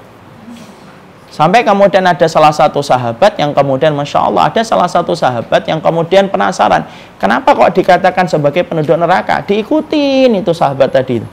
Kenapa? Dia begitu gagah berani berjuang dan berjihad di atas kudanya Berjihad, tidak main-main ini Berjihad orang yang betul-betul beriman Dia berjihad Tapi ketika dalam jihadnya maka kemudian dia tertusuk Kemudian tertebas pedang jatuh dari kudanya Ketika sakaratul maut apa yang terjadi dan menimpa kepadanya. Dia melihat sebilah pedang yang ada di sampingnya bergegas. Diraih itu pedang tersebut dengan tangannya lalu ditusukkan ke tubuhnya berkali-kali. Mati tapi bukan mati visabilillah tetapi matinya apa? Mati bunuh diri. Padahal kalau kita berpikir secara logika, buat tunggu sebentar, toh nanti juga kamu akan meninggal visabilillah. Tapi yang namanya korin, Makanya sampai Allah sampaikan di sini, sampai disampaikan oleh Allah dalam surat Anas itu supaya kita nggak menggampangkan masalah korin. Sampai Allah sampaikan loh, masalah korin ini lengkap loh. Masalah bisikan setan itu disampaikan oleh Allah itu lengkap di dalam Quran. Kenapa? Saking pengaruhnya dan saking gangguan ini itu besar. Sampai Allah ngajarin anak dan ngajarin antum berlindung kepada Allah semata. Itu karena betapa besarnya, dahsyatnya bisikan setan itu semacam itu. Gangguin betul kehidupan kita dalam iman itu. Makanya kalau orang itu sudah meninggal dunia jangan ditinggal terus ditemenin terus. Dan jangan pernah lepas dari kalimat la ilaha illallah terus di telinganya. La ilaha illallah. Kenapa? Itu untuk mengimbangi dari bisikan-bisikan setan yang sedang mengganggu dan mengkacaukan pikiran dia. Ya. Jadi mengkacaukan pikirannya itu. Makanya di situlah kita memahami sampai detik-detik orang itu meninggal dunia. Makanya Syekh Husaimin sampai beliau berkata, Sesungguhnya korin itu tidak akan meninggalkan kita sampai korin itu tidak akan meninggalkan kita sampai kita meninggal dunia. Baru korin itu akan pindah ke tempat yang lainnya. Jadi korin itu akan pindah ke tempat yang lainnya kapan? Ketika kita sudah meninggal dunia. Tapi selama hayat masih dikandung badan, selama hayat masih dikandung badan, maka sesungguhnya korin itu tidak akan pernah berhenti untuk menggoda manusia dan menyesatkan manusia dari jalan Allah yang lurus. Dan itulah yang dinamakan dengan korin korin. Dan setiap manusia itu memiliki korin, hanya kepada Allah kita meminta perlindungan kepadanya dengan berlindung diri kepada Allah dalam setiap waktunya. Nah, makanya gambaran dari korin itu apa? Maka kemudian disebutkan Adisa. Coba diteruskan adik. Bisa yang keras. Disebutkan dalam Sahih Bukhari.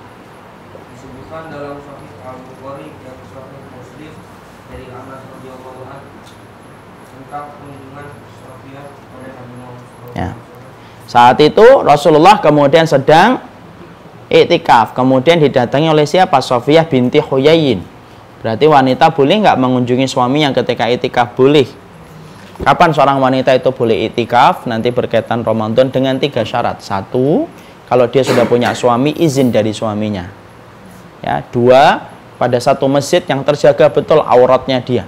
Dan betul-betul memperhatikan auratnya seorang wanita ketika berada di masjid yang tempat didirikan itikaf itu. Jadi kalau ibu nanti ternyata ada satu masjid kok melalaikan untuk menjaga wanita ketika itikaf masih banyak laki-laki yang bisa melihat maka itu jatuhnya malah haram untuk mengikuti karena apa? Tersingkapnya aurat lebih berat daripada masalah itikaf.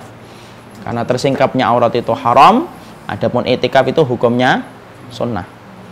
Makanya kemudian tempat itikafnya harus betul-betul tertutup. Misalkan lantai atas ditutup, kamar mandinya khusus dan boleh nggak itikaf kemudian dibangun di belakang apa di terasnya masjid kita bangun kemah-kemah sendiri? Boleh. Karena sesungguhnya ibunda Aisyah setelah sepeninggal Rasulullah maka beliau tidak pernah meninggalkan itikaf setelah ditinggalkan oleh Rasulullah SAW dan beliau membawa kemah sendiri ketika beliau itikaf. Masya Allah ya panasnya kayak apa itu? Pada zaman dulu itu itikafnya para istri-istrinya Rasulullah setelah ditinggalkan Nabi mereka tenggelam dalam ibadah Makanya diterangkan dalam salah satu riwayat, semua istrinya Rasulullah, semua istrinya Rasulullah ketika ditinggalkan Nabi, mereka tenggelam dalam ibadah terus menerus. Dan yang paling cepat menyusul Nabi siapa? Zainab. Yang paling cepat menyusul Nabi Shallallahu Alaihi Wasallam. Jadi kapan seorang wanita boleh itikaf? Yang kedua syaratnya masjid itu menjaga rapat auratnya dia. Kemudian yang ketiga tidak meninggalkan kewajiban besar yang dia miliki di lingkungan keluarganya. Contohnya anaknya misalkan masih kecil, masih menyusui, tidak bisa seorang ibu ngomong sama anaknya yang masih dua tahun. Nak, kamu mandiri ya selama 10 hari ibu mau itikaf. Nah, itu tidak bisa. Tapi ada kewajiban besar, maka kemudian wajib dia menjaga apa yang telah dibebankan kepadanya. Kenapa? Menjaga anak hukumnya wajib. Seutama-utamanya yang sunnah tidak pernah mampu mengalahkan yang wa wajib. Tapi kalau wanita kemudian mereka tidak itikaf pun ketika mereka memiliki kewajiban yang lebih besar boleh. Ataupun ketika seorang suami melarang istrinya untuk itikaf boleh atau tidak boleh? Boleh Kapan seorang wanita tidak boleh dilarang? Kalau dia ingin datang ke masjid, tidak boleh dilarang. Tapi kalau dia itikaf, boleh dilarang apabila sang suami punya kemaslahatan yang dia pandang untuk kebaikan istrinya. Ya. Saat itu kemudian apa? Kita mendapati Sofiyah kemudian mengunjungi Nabi yang kemudian sedang iktikaf, ya, sedang iktikaf. Maka sesungguhnya ketika iktikaf. Kemudian teruskan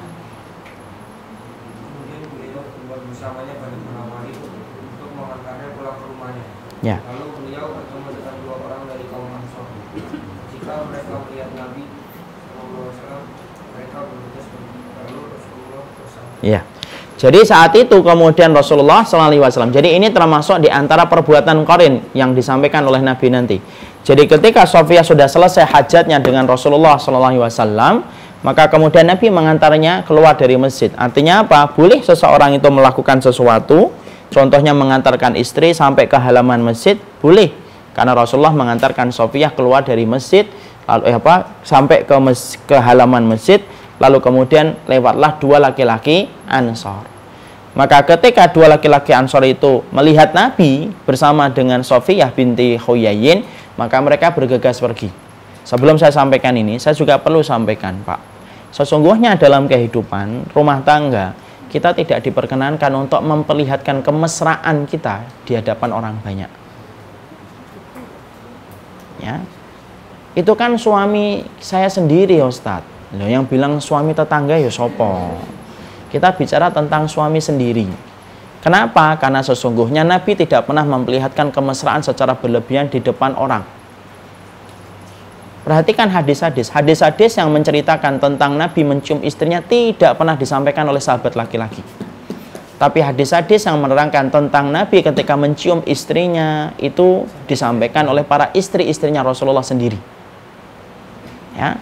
Karena apa? Kita tidak diperkenankan untuk memperlihatkan kemesraan di luar pintu rumah kita karena banyak orang yang melihatnya dan banyak di antara mereka yang punya penyakit di dalam hatinya dan bisa menjadi kemaksiatan ketika penyakit itu tidak dikontrol dengan iman. Kita mencium keningnya istri, ada yang ngeliatin, Masya Allah, terbayang-bayang dengan sesuatu yang haram. Dan sifatnya Islam itu apa? Menutup segala celah kemungkinan yang bisa menyebabkan terjadinya apa yang dibenci oleh Allah. Kapan kita boleh memperlihatkan kemesraan? Di balik pintu, mau ngapain aja silahkan tidak ada larangan. Tapi kalau sudah di luar pintu, maka kemudian kita diperintahkan untuk menjaga diri supaya tidak memperlihatkan kemesraan. Kalau pegangan tangan, nah, pegangan tangan boleh lah, masih boleh lah. Tapi kalau sampai dipeluk lama, dilihatin orang, itu. Sampai kemudian orang pada komentar so sweet, alah. Maka sesungguhnya itu kemudian termasuk di antara perkara yang dimakruhkan. Itu perkara yang dimakruhkan. Jadi kemudian kalau bermesraan, kemudian kalau bermesraan, maka kemudian disarankan pergi ke tempat-tempat yang tidak banyak terlihat oleh orang. Ya, masalahnya makanya Nabi ketika lomba lari dengan Aisyah yang menceritakan itu Aisyah atau sahabat? Aisyah, Aisyah sendiri. Kenapa? Mereka kemudian mendapati mereka agak keluar sedikit lalu kemudian mereka berlomba lari. Kemesraan itu dibangun oleh Nabi ketika tidak banyak banyak pasangan-pasangan yang melihatnya. Itulah yang sering kita ini karena kita sering-sering mendapati hari ini mungkin karena belum mengerti banyak pasangan-pasangan yang kadang-kadang memperlihatkan kemesraannya di luar pintu.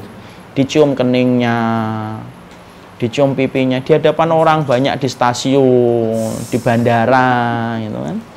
Akhirnya kemudian orang mempunyai bayangan-bayangan karena apa? Tidak semua orang yang melihat itu hatinya bersih. Tidak semua orang yang melihat itu adalah memiliki hati yang bersih. Makanya itulah yang menjadikan kita tidak boleh memperlihatkan kemesraan. Makanya Nabi ketika bersama Sofiyah, Nabi mencium Sofiyah, tidaklah. Tapi Nabi paling romantis gak sama istrinya? Pasti paling romantis, tapi Nabi tidak memperlihatkan itu di hadapan halayak manusia. Nah, itu yang kita harus pahami.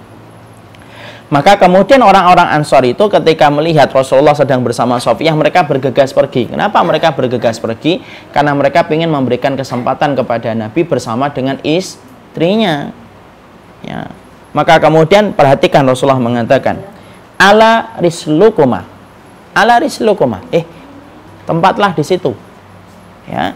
Innaha Sofiyatu binti Huyayin. Kemudian Rasulullah mengatakan tahan dulu, tahan dulu. Yang sedang yang sedang jalan itu tahan dulu ya. Ini Sofiyah binti Huyayin nih, ini Sofiyah binti Huyayin. Maka kemudian mereka berdua mengatakan subhanallah ya Rasulullah. Ya Allah, ya Nabi Maha Suci Allah, kami tidak mungkin berprasangka yang buruk. Kami ngerti itu pasti istrimu ya Rasulullah. Ya, kemudian Nabi mengatakan, "Qala inna syaitana yajri minal insani majrad dami." Sesungguhnya setan itu mengalir dalam aliran darah manusia dan sesungguhnya wa ini khasyitu aku khawatir ayak difa fi qulubikuma syai'an aku khawatir setan itu akan menimpakan sesuatu kepada hati kalian yang mana akhirnya kalian memiliki keburukan yang terlintas di hati kalian. Nah, di situ kita mengetahui bisikan yang asalnya tidak punya tiba-tiba punya bayangan yang buruk itulah yang dilakukan oleh Korin. Nah, di sini pula kita ngambil pelajaran itu apa? Menjelaskan sesuatu yang sifatnya bisa menjadi pemicu keburukan itu wajib kita lakukan ya menjelaskan sesuatu yang bisa menjadi pemicu orang itu berprasangka yang buruk itu harus kita jelaskan. Karena apa? Kita tidak boleh mengatakan sudahlah kalian seudon sama saya silahkan. Tidak bisa kayak gitu. Tetapi kemudian kalau mampu kita jelaskan kenapa menutup kemungkinan buruk yang menimpa kepada saudara kita merupakan bagian dari kewajiban kita. Ya, jadi misalkan tiba-tiba antum jalan sama keponakan antum ya keponakan antum kemudian hampir mirip umurnya dengan kita misalkan. Hampir mirip dengan kita. Kemudian berjalan tiba-tiba kita melihat ada teman kita. Kita kemudian tidak boleh itu kemudian mengatakan apa. Kita kemudian berkata sama keponakan kita tuh lihat tuh biar nanti seudon kita ya. Tidak apa-apa kita disudonin supaya gugur dosa-dosa kita. Tidak bisa lah. Kita harus manggil dik ini keponakan saya loh, jangan berprasangka. Itu termasuk kewajiban kita kalau mampu. Kenapa? Jangan membiarkan diri kita menjadi sasaran tembak prasangka itu tidak boleh. Ya tentunya kalau menjelaskan sekali dua kali cukup, tidak usah menjelaskan terus setiap ini menjelaskan. Itu namanya nguber-nguber perkataan manusia. Kita tidak usah kayak gitu, tapi kita wajib untuk menjelaskan, wajiblah menjelaskan kalau mampu, yang sifatnya nanti menjadi prasangka. Tiba-tiba antum, antum misalkan Bapak-bapak ini misalkan kerja, lah bapak-bapak sudah tahu nih orang-orang itu kerjanya bapak itu gajinya hanya 10 juta. Kok tiba-tiba bapak membeli mobil harganya 2 miliar? Kan orang mikir 2 miliar dari mana ya gajinya 10 juta? Tidak usah kita ngomong biarin di orang berprasangka yang buruk. Biar nanti kita panen pahala. Tidak gitu.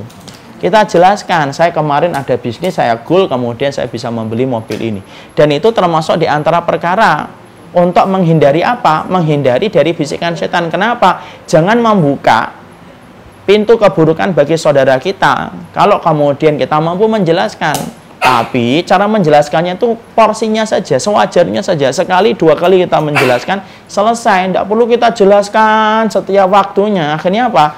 Kita akhirnya meributkan apa yang dikatakan orang. Jelaskan sekali, dua kali, sudah selesai.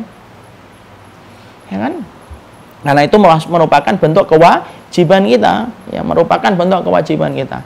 Tiba-tiba kita kemudian menempatin rumah, ada rumah, tiba-tiba rumah itu jauh dari rumah ini, rumahnya mahal banget. Kita ngomong ini, saya ini sebenarnya cuma disuruh nempatin doang.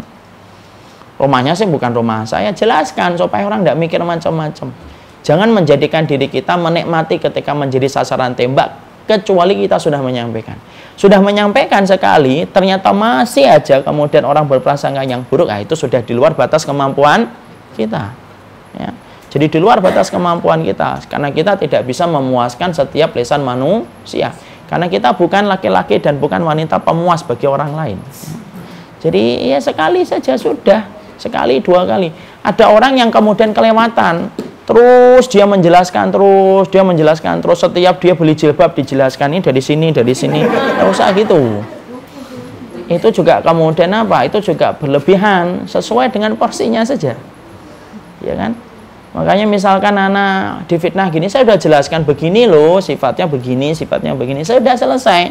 Ngomong lagi, saya tidak perlu jelasin lagi. Ngapain saya jelasin terus itu? Mereka juga bukan apa-apa saya, ngapain saya harus jelasin setiap waktunya? Makanya sekali dua kali selesai itu di hadapan manusia, ya. Sel sel sel selebihnya itu nikmatin, selebihnya itu nikmatin bahwasanya kalau kita masih didolimin, maka itu menjadi kebaikan. Lah Nabi itu ngerti, makanya Nabi kemudian mengatakan, makanya Nabi ketika mendapati dua sahabat Ansor itu mengatakan, Subhanallah ya Rasulullah, ya Rasulullah kami tidak mungkin berprasangka yang buruk sama engkau ya Rasulullah. Iya, tapi aku khawatir setan itu itu mengalir dalam aliran darah dan membisikkan kepada kalian, yaitu sesuatu yang buruk. Ya namanya kita kan tidak tahu. Dan kita juga paham loh manusia itu cenderung untuk gampang seudon sama orang. Manusia itu cenderung kayak gitu. Kenapa? Karena yang membisikkan udon itu siapa? Seton, korin itu.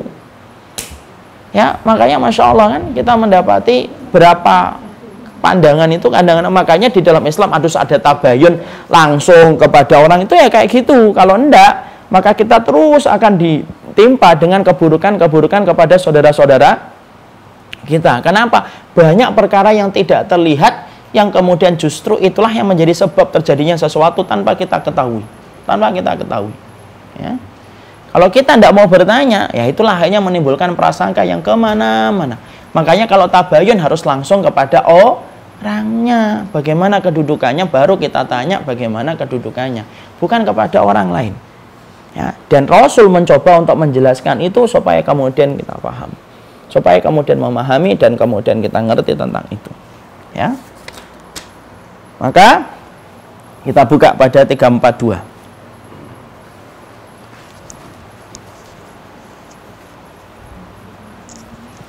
Sa'id bin Zubair kemudian berkata dari Ibnu Abbas tentang firman Allah Al-waswasil khannas yaitu adalah bisikan setan yang bersembunyi. Kenapa sih ada kata-kata bersembunyi? Maka kemudian Sa'id bin Zubair itu mengatakan, Sesungguhnya setan itu selalu bertengger di hatinya manusia. Dia nempel terus. Jadi setan itu membangun posko penjagaan di atas hati manusia. Jadi di atas hatinya manusia maka bertenggerlah setan itu.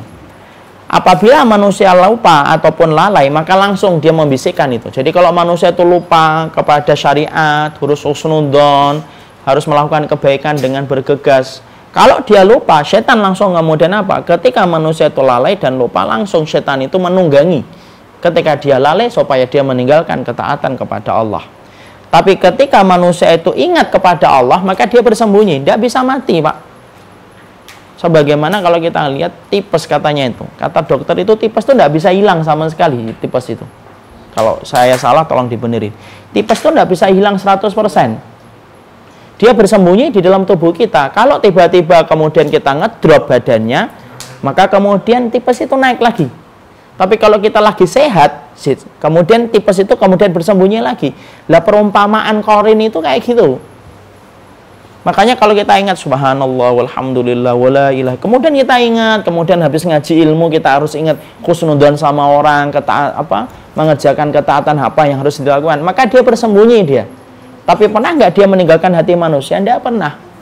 Makanya Hasan Al Basri sampai berkata, kalau aku ngerti setan itu istirahat sejenak saja, maka aku mampu istirahat sebentar ketika setan sedang istirahat.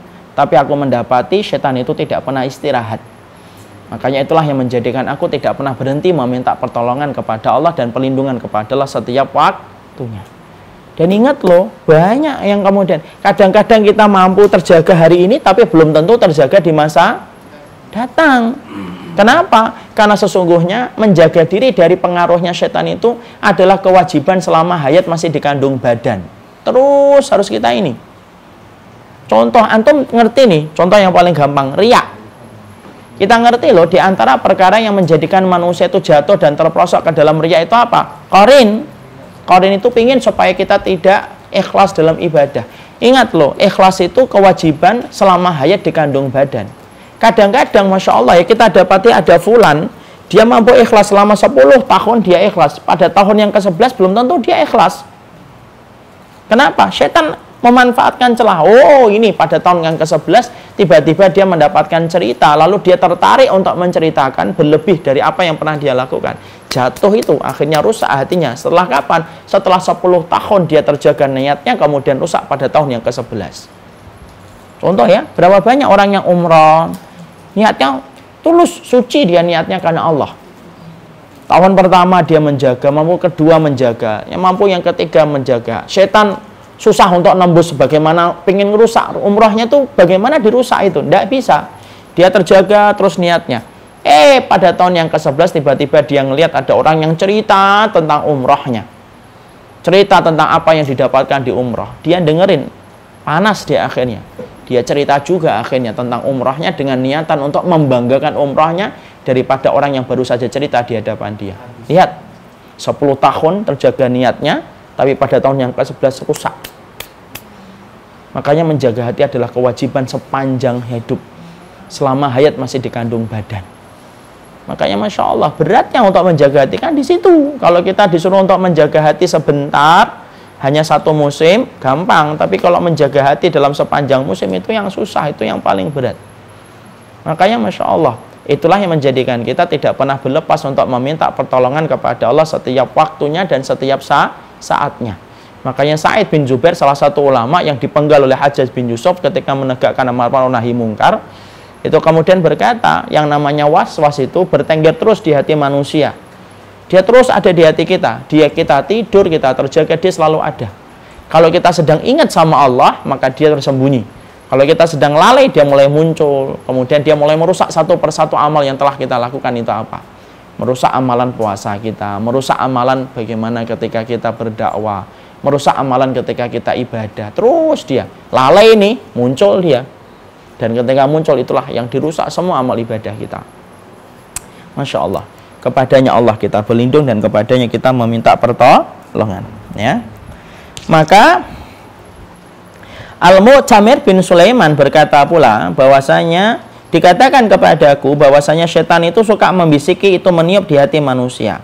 Ketika bersedih dan tak kalah bergembira. Sedih supaya hilang ridhonya. Bergembira supaya kemudian tak kabur dan sombong dengan kegembiraan yang dia dapatkan.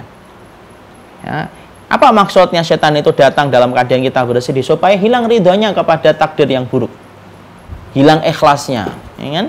Masya Allah sudah ngaji, sudah pakai jilbab, kok masih aja ujian ini tidak selesai-selesai ya Allah? Hari libur aja saya buka pakai saya buat ngaji ya Allah masih aja ujian tidak selesai-selesai. Dihilangkan itu kemudian sifat ridhonya. Makanya ketika bergembira pun datang. Apa maksudnya bergembira ketika datang? Dia sombong dengan kelapangan fasilitas hidupnya. Dan itulah setan itu selalu datang setiap waktunya. Maka apabila manusia itu ingat kepada Allah maka kemudian dia bersembunyi Al-Aufi berkata dari Ibnu Abbas bahwasanya bisikan setan adalah bisikan yang menyuruh ya kepada kejahatan. Apabila ditaati maka kemudian orang tersebut berbuat kejahatan. Maka setan itu bersembunyi melepaskan diri. Kemudian Allah menyambutkan alladzi yuwaswisu fi sudurinas ya. Yaitu adalah fi sudurinas apakah ayat ini khusus untuk manusia? Apakah ayat ini juga berlaku untuk jin? Nah, di sini para ulama mengatakan sesungguhnya ini kemudian disebutkan alladzi yuwaswisu fi sudurin nas. Ini kata anas di sini. Apakah termasuk di antaranya itu adalah jin? Maka sesungguhnya ini untuk berlaku antara jin dan manusia. Artinya jin pun ada yang menggoda mereka. Maka di situlah disebutkan sesungguhnya yang menggoda kita di mana? Yaitu adalah di dalam hati manusia di dalam dada jadi yang kemudian setan itu mengganggu kita di dalam dada. Berkecamuknya peperangan yang tiada pernah berhenti itu adalah di dada kita, di hati kita. Dan peperangan itu konfliknya adalah konflik antara kebenaran dengan kebatilan tidak pernah berhenti. Maka dilanjutkan alladzi yuwaswisu fi sudurin nas minal jinnati wan nas. Dan yang mengganggu kita untuk beribadah kepada Allah itu dua, minal jinnati yang pertama dari jin, wan nas dan dari kalangan manusia. Dan di antaranya apa? Membuat sihir, membuat sesuatu tampak salah padahal dia benar, membuat tampak benar padahal dia sah, salah. Makanya Allah menyampaikan secara gamblang di dalam surat Al-An'am 112. Kita buka surat Al-An'am 112.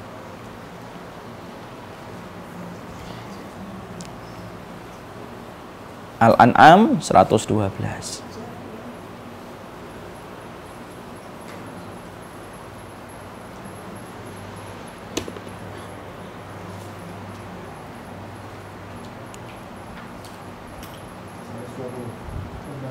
112. Baca, Akhi. Dan demikianlah untuk setiap nabi kami menjadikan musuh yang terdiri dari setan-setan manusia dan jin. Sebagian mereka membisikkan kepada sebagian yang lain perkataan yang indah sebagai tipuan.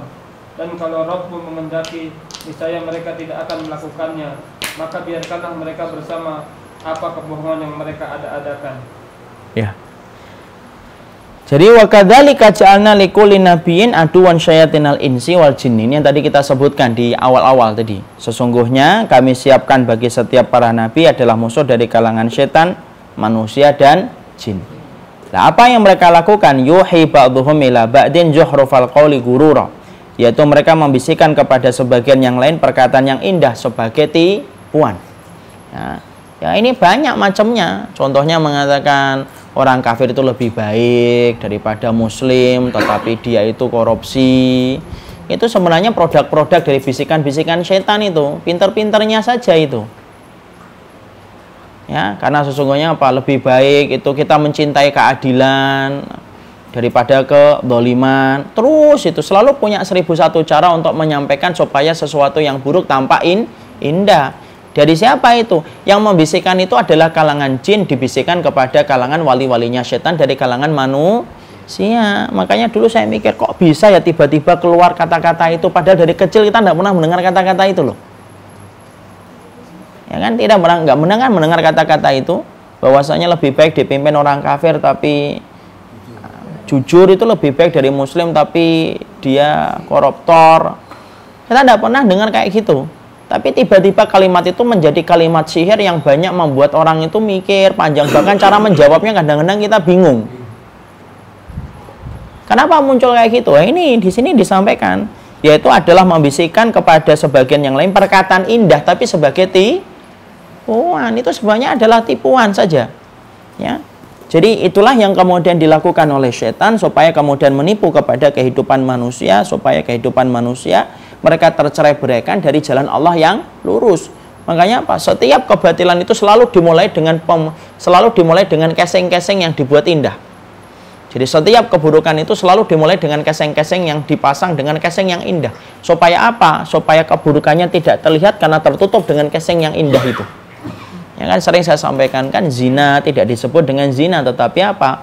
Sekarang macam-macam sampai disebut dengan kata-kata ML, itu sebenarnya merupakan bagian dari produk kalimat sihir untuk merubah dosa supaya tidak tampak menjijikan. Ya, kemudian dukun tidak disebut dukun tapi disebutnya apa? Orang pintar. Terus kalimat sakral itu dipakai terus. Kemudian adat istiadat yang bertentangan dengan syariat tidak dikatakan adat yang menentang syariat dikatakan apa? Menjaga kearifan lokal. Ya kan? Terus kayak gitu. Maka kemudian terus semacam itu. Dan itu terus dipasang itu. Intinya apa? Intinya adalah memasung kebenaran dan membebaskan kebatilan. Itu intinya di situ. Intinya di situ. Makanya mereka selalu punya nama yang mereka sematkan kepada pemegang kebenaran dan pelaku kebenaran. Dan itu yang menjadikan adalah syaitan. Bahkan itu sudah ada pada zaman Nabi kan? Zaman Nabi mereka menyebut khamar tidak disebut dengan khamar tapi menyebutnya apa? Umul afrah, induk semang kenikmatan dunia. Ya, itu semang kenikmatan dunia. Jadi disebutnya umul afrah itu kata Imam Ibnu Katsir kan gitu. Terus saja. Jadi sebuah kamus-kamus itu mereka miliki terus untuk itu. Jadi nanti terus berubah lagi. Lihat saja, Pak. Nanti kita lihat zina sudah disebut gitu, nanti beda lagi. Dan berapa banyak orang yang lemah iman tertipu dengan tipu daya kata-kata. Jangan dianggap loh kata-kata itu menjadi sesuatu yang ringan. Enggak, setan itu nipu banyak orang itu ya dengan kata-kata. Makanya wajar kalau orang kafir mereka membangun berbagai macam media. Kenapa? Mereka mengelola kata-kata supaya kata-kata itu menipu kebenaran. Ya, makanya kita lihat siapa yang paling berhasrat untuk membangun dan memproduksi kata yang disebarkan ke seluruh permukaan bumi. Orang-orang kafir. Mereka membangun kata-kata terus intinya apa setiap kata-kata itu adalah membuat indah sesuatu yang tampaknya buruk dan membuat buruk sesuatu yang yang kemudian be benar. Makanya lihat perhatikan pada zaman Rasul maka menyebut Nabi dengan berbagai macam sebutan dan itu menjadi fitrah dalam setiap perjalanan keimanan dan perjalanan dari kebenaran itu. Maka di situlah kita mendapati setan itu yang membisikkan kepada wali-walinya setan dari kalangan manusia supaya kemudian mereka terus meneruskan kebatilan, menyesatkan manusia dan menceraikan manusia dari jalan kebenaran. Kemudian Imam Ahmad kemudian meriwayatkan dari Ibnu Abbas. Ya. Maka kemudian Imam Ahmad meriwayatkan dari Ibnu Abbas dibuka 343. Pada halaman 343 dikatakan seseorang datang kepada Nabi. Lalu ia mengadu, wahai Rasulullah, sesungguhnya aku sedang berbicara dengan sesuatu. Artinya aku berbicara kepada bisikan yang ada dalam diriku di mana tersungkurnya aku dari langit lebih aku sukai daripada aku menanggapin dan daripada aku berbicara dengan dengannya atau daripada aku menanggapi bisikan itu. Maka Nabi kemudian mengatakan Allahu Akbar, Allahu Akbar, Allahu Akbar, Alhamdulillahilladzi radda qaitahu ilal waswas. Maka Nabi mengatakan maha besar, maha besar Allah, segala puji bagi Allah yang telah mengembalikan tipuan daya itu kepada pembisiknya saja atau kepada bisikannya saja. Artinya Rasulullah itu bersyukur kalau ada manusia itu tidak menuruti bisikan hatinya. Kenapa? Itu bentuk nikmat. Jadi kalau ada orang yang punya bisikan macam-macam dan dia mampu mengalahkan bisikan itu, itu pada dasarnya dia mendapatkan kenikmatan pertolongan dari Allah sampai mampu mengalahkan bisikan itu. Kita contohnya tadi bayar hutang susah ketika kita sudahlah hutangnya nanti aja bulan depan lagi aja tapi kita tepis kemudian kita membayarkan hutang, Nabi bersyukur ke setiap orang yang mereka mampu mengalahkan bisikan hatinya. Kenapa? Tidak ada orang yang diberikan kemampuan menepis bisikan hatinya kecuali adalah kenikmatan dari Allah Subhanahu wa taala. Nah, itulah yang menjadi surat An-Nas. Alhamdulillah sudah selesai. Semoga Allah memberikan kepada kita pelajaran penting supaya kita tidak pernah lepas dari ikatan kita kepada Allah karena tidak ada yang mampu mengalahkan bisikan setan kecuali pertolongan Allah semata. Jangan pernah merasa sombong mampu mengalahkan bisikan setan karena tidak ada yang mampu mengalahkan bisikan setan kecuali orang yang diberikan rahmat oleh Allah. Bersyukurlah orang yang selalu menolong Allah maka Allah akan menolongnya. Kenali Allah maka Allah akan mengenali kamu dalam keadaan sempitmu.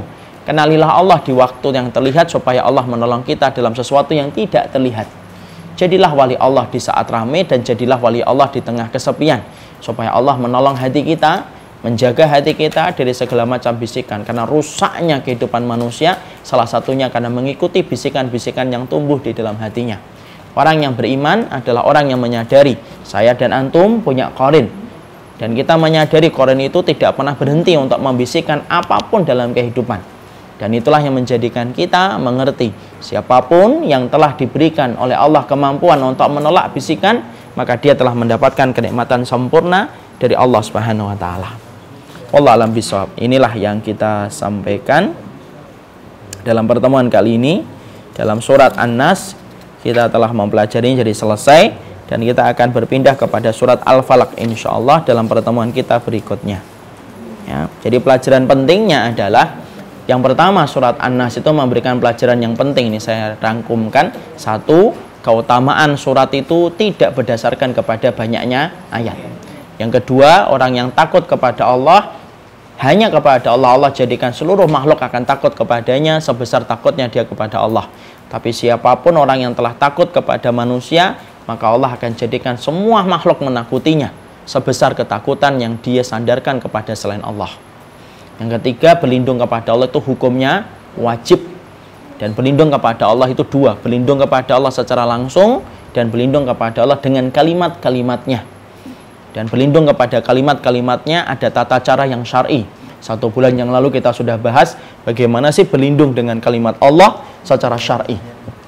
Kemudian yang keempat yang kita pelajari adalah sesungguhnya setiap pelaku kebenaran panggung kebenaran itu sedikit pengunjungnya, banyak komentatornya dan banyak musuhnya. Dan siapa yang mempersiapkan musuh? Yang mempersiapkan musuh adalah Allah. Sebagaimana dalam surat Al-An'am 112. Dan musuh itu dua, dari kalangan setan dan dari kalangan manusia. Jin yang menghambakan diri kepada iblis namanya setan. Adapun jin ketika tidak menghambakan diri kepada iblis maka namanya adalah jin. Dan mereka berprofesi sebagaimana manusia ada yang muslim, ada yang mukmin, ada yang munafik dan ada yang fasik. Ditetapkan kepada mereka ibadah sebagaimana ditetapkan kepada kita beribadah. Mengalahkan setan itu lebih susah daripada mengalahkan manusia. Karena setan tidak menerima riswah. Setan tidak menerima sogokan. Adapun manusia masih menerima sogokan. Manusia bisa merasakan sakit ketika diambil, ditekan, diancam, maka dia bisa kalah di hadapan kita. Tapi setan tidak menerima sogokan, dia tidak bisa disakiti, dia mampu melihat kita, tetapi kita tidak mampu melihat mereka. Orang yang sadar betapa besarnya musuh yang kita hadapi, maka dia penting untuk berlindung hanya kepada Allah semata. Makanya kita berlindung kepada Allah. Di antara bisikan, di antara keburukan seseorang itu apa? Yaitu besarnya bisikan di dalam hatinya. Karena sesungguhnya selain kita punya setan, ada setan yang mengganggu kita di banyak tempat. Ada setan yang mengganggu kita ketika di pasar, ada setan yang mengganggu kita dalam keluarga, ada setan yang mengganggu kita dalam sholat, kita masih punya musuh lagi yang bernama korin. Dan korin itu mengalir dalam aliran darah. Dia tidak pernah berhenti untuk membisikkan-bisikkan di dalam hati. Kenapa? Dia nempel pada hati, dia bertengger pada hati, kata Hasan al-Basri. Kalau kita ingat sama Allah, dia bersembunyi. Kalau kita lalai, dia baru muncul. Makanya menjaga diri dari bisikan setan adalah kewajiban selama hayat dikandung badan. Makanya kita kita ambilkan contoh ikhlas saja itu merupakan pekerjaan hati. Kita kadang-kadang lima tahun ikhlas, tapi enam tahun tidak ikhlas. Kita terkadang 10 tahun ikhlas nih. Misalkan kita mendapati ada seorang ummahat dia memakai jilbab. Awalnya ikhlas, tahun yang pertama ikhlas, tahun yang kedua ikhlas, tahun yang ketiga setan merusak hatinya. Ternyata banyak komentar yang berpositif, eh, komentar positif sampai akhirnya dia salah niat. Setelah tiga tahun dia ikhlas, rusak pada tahun yang keempat ketika rusak niatnya. Di situlah kita paham was-was itu adalah salah satu di antara senjatanya setan yang selalu akan ada di dalam hati kita. Makanya berlindunglah kepada Allah dari bisikan setan. Kita meminta kepada Allah, kita mengatakan bagaimana doanya untuk kemudian berlindung dari was-was itu. Katakanlah a'udzu billahi minasyaitonir rajim min waswasil khannas. Bolehkah kita? Boleh. Allahumma inni a'udzubika min waswasil khannas. Ya Allah aku berlindung kepadamu min waswasil khannas. Jadi kalau kita tiba-tiba membayar utang susah, tiba-tiba ada bisikan, kita tiba-tiba mendengar berita tentang saudara kita, kemudian mulai timbul prasangka macam-macam. Katakanlah, Allahumma inni a'udzubika min waswasil khannas. Ya Allah, aku berlindung kepadamu dari keburukan bisikan-bisikan itu. Kita ngelihat sesuatu, kemudian kita tidak berani bertanya, tapi hati sudah mulai berprasangka macam-macam. Katakan, Allahumma inni a'udzubika min waswasil khannas. Ya Allah, aku berlindung kepadamu dari keburukan bisikan setan yang buruk. Dan itulah yang kita lakukan. Dan sesungguhnya bisikan itu terus ada. Sampai kapan bisikan itu hilang? Sampai detik-detik kita mau meninggal pun, sesungguhnya bisikan itu tetap datang. Makanya kita mendapati kisah nyata, ada seorang sahabat di mana sahabat itu sampai detik-detik mau mati pun masih dibisiki oleh setan ambil pedangnya bunuh dirimu dan akhirnya betul-betul membunuh dirinya karena bisikan itu di situlah kita paham bisikan itu tidak pernah selesai tidak pernah mengecil tidak pernah meninggalkan kita sampai kita mati maka barulah bisikan itu akan hilang semoga kita termasuk orang yang menyadari bahayanya bisikan di dalam hati karena sesungguhnya Allah sampai menerangkan itu di dalam surat An-Nas karena Allah mengerti betapa rusaknya ketika kita tidak berlindung kepada Allah ketika menghadapi bisikan. Semoga kita bukan hanya berlindung diri dari masalah dari masalah-masalah yang sifatnya dosa dari zina. Karena apa? Zina itu terjadi juga karena bisikan. Orang minum khamr juga karena bisikan. Apa pun itu dimulai dari bisikan. Jadi semua dosa besar itu terjadi karena bisikan.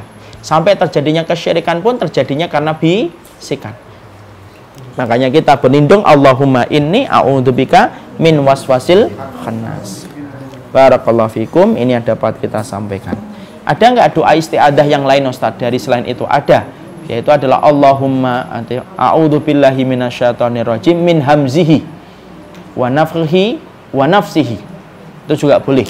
Allah apa a'udzubillahi minasyaitonir rajim min hamzihi wa nafkhihi wa nafsihi. Ya Allah, aku berlindung dari godaan setan min hamzihi, hamesnya, dari kemudian tiupannya, bisikannya dan tiupannya.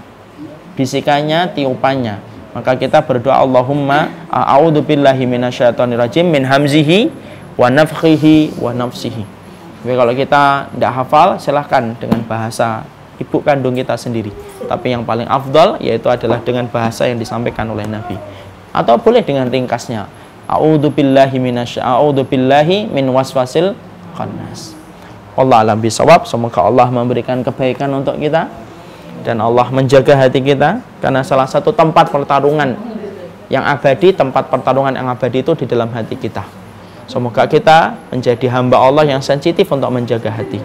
Ini yang dapat kita sampaikan dalam pertemuan kali ini. Semoga Allah memberikan keberkahan. Kita buka dengan pertanyaan. Ada yang ingin bertanya? Saya persilahkan. Ya.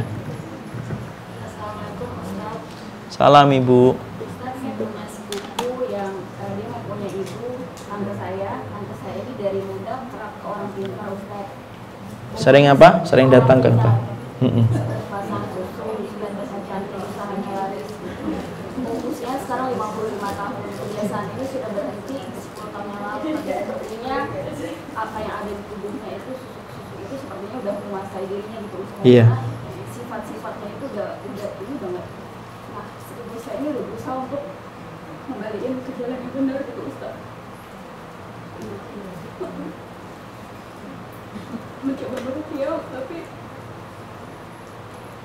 dia menolak untuk dirukiah mengajak ke pengajian tapi tidak pernah mau diajak ke pengajian nah apa yang mesti dilakukan oleh sepupu saya karena biar bagaimanapun itu kan ibu kandung ya Ustaz apakah cukup dengan mendoakan saja dan menjadi anak yang berbakti atau ada upaya maksimal lain yang bisa dilakukan untuk membalikan ibunya ke jalan yang benar Tidak ada Ibu. ayah dan keluarga ayahnya dan keluarga besar udah berusaha udah melakukan tapi susah gitu Ustaz. Sementara itu ibu kandung yang mesti dilakukan ya Ustaz Yang dilakukan hanyalah bisa berdoa sembari kita membuka berbagai macam berbagai macam kesempatan untuk supaya dia mendapatkan kebenaran, mendekatkan mereka kepada majelis ilmu, mengenalkan kepada para ustadz, mengenalkan dan mendekatkan kepada tetangga-tetangga yang sulit itu ikhtiar, tapi semuanya kembalinya kepada dirinya sendiri, Ibu.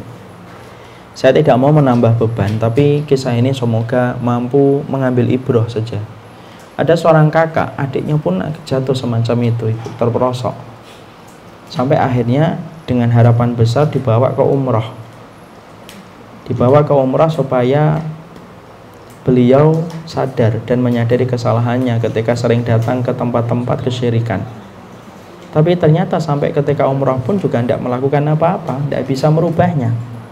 Bahkan ibu tahu sampai dia tidak bisa masuk ke Masjidil Haram. Jadi setiap masuk ke Masjidil Haram ketakutan dia. Ketika ditanyakan kenapa kamu takut? Ya karena dia merasa ada makhluk besar yang menjaga Masjidil Haram. Sampai umrah selesai dia tidak pernah tawaf. Ya kita tidak bisa melakukan apa pun kecuali dengan doa.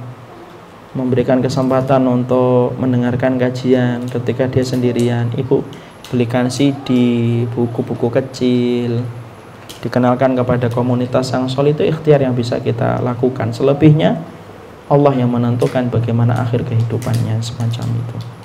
Tapi memang kalau kesyirikan itu dibawa sampai mati tidak diampuni oleh Allah. Dan itulah yang menjadikan kita betul-betul ngambil pelajaran, mengajarkan akidah kepada anak dari kecil itu penting banget. Siapa musuh-musuhnya akidah, siapa musuhnya tauhid, apa yang tidak boleh dilakukan sama sekali ketika dia menjadi seorang muslim. Nah, itu yang penting untuk kita sampaikan. Kalau sudah tua gitu biasanya sulit tanpa menafikan. Ada kemungkinan untuk mendapatkan hidayah. Orang itu biasanya kalau sudah membawa kesalahan ibu melewati angka 40 tahun biasanya susah untuk kemudian diajak balik. Kenapa? Angka 40 itu seakan-akan menjadi sebuah alarm kalau dia sampai melewati 40 dalam keadaan kebiasaan yang salah biasanya akan dibawa sampai mati. Ya. Orang biasanya melakukan keburukan sampai 40 Biasanya akan keburukan itu susah untuk dikembalikan lagi Kalau sudah melewati angka 40 Kecuali yang dirahmati oleh Allah Paham ibu? Jadi Berlindunglah kepada Allah Sudah terlepas dari dosa Selama dia telah berusaha semaksimal mungkin Untuk memberikan perlindungan dan menjaga Paham? Ya Yang lain? Ada? Kalau tidak ada, kita ya.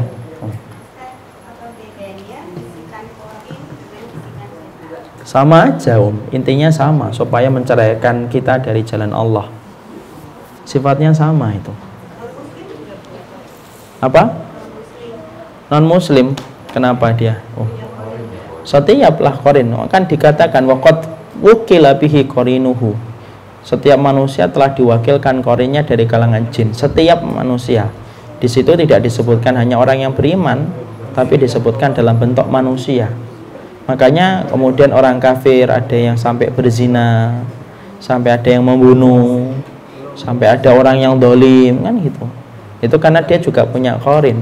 Kenapa orang kafir kok masih bisa melakukan zina, Ustaz? Yaitu supaya menjadi tambah berat nanti untuk adabnya pada waktu hari kiamat. Dia diadab oleh Allah karena kekufurannya dan ditambah dia diadab oleh Allah dengan dosa-dosa yang dia lakukan. Kalau orang kafir, ya tetap diadab, mereka kekal di dalam neraka. Cuma kalau orang kafirnya dia melakukan zina, dia kemudian membunuh, ditambah lagi dengan dosa berzina, dengan dosa membunuh. Tapi intinya semuanya kekal di dalam neraka. Gitu. Allah alam bisa. Jadi orang-orang apa kafir itu punya korin punya korin dia. Sama dia punya korin sebagaimana manusia punya korin. Korinnya orang-orang kafir yang menjaga supaya orang kafir tidak masuk Islam dan tidak mendapatkan hidayah itu salah satu pekerjaan dari korin-korin kafir kepada orang kafir. Yang lain? Sudah? Ya. Ini yang kita sampaikan. Qadarullah kita selesaikan surat An-Nas insyaallah pada pertemuan berikutnya kita akan menjelaskan tentang surat Al-Falaq. Semoga Allah memberikan kebaikan. Walaupun nanti ada kesamaan tentang surat Al-Falaq dengan surat Anas dalam beberapa ayat, tapi tidak apa-apa kita akan jelaskan. Kita akan mengenal. Kita akan menguliti tentang masalah setan. Saya ingin menyampaikan masalah setan, bagaimana setan itu segala macam keterangan tentang setan supaya kita tidak banyak bertanya-tanya tentang setan semenjak kita mempelajarinya. Karena salah satu di antara kebaikan kita adalah mengerti tentang siapa musuh kita. Oh boleh.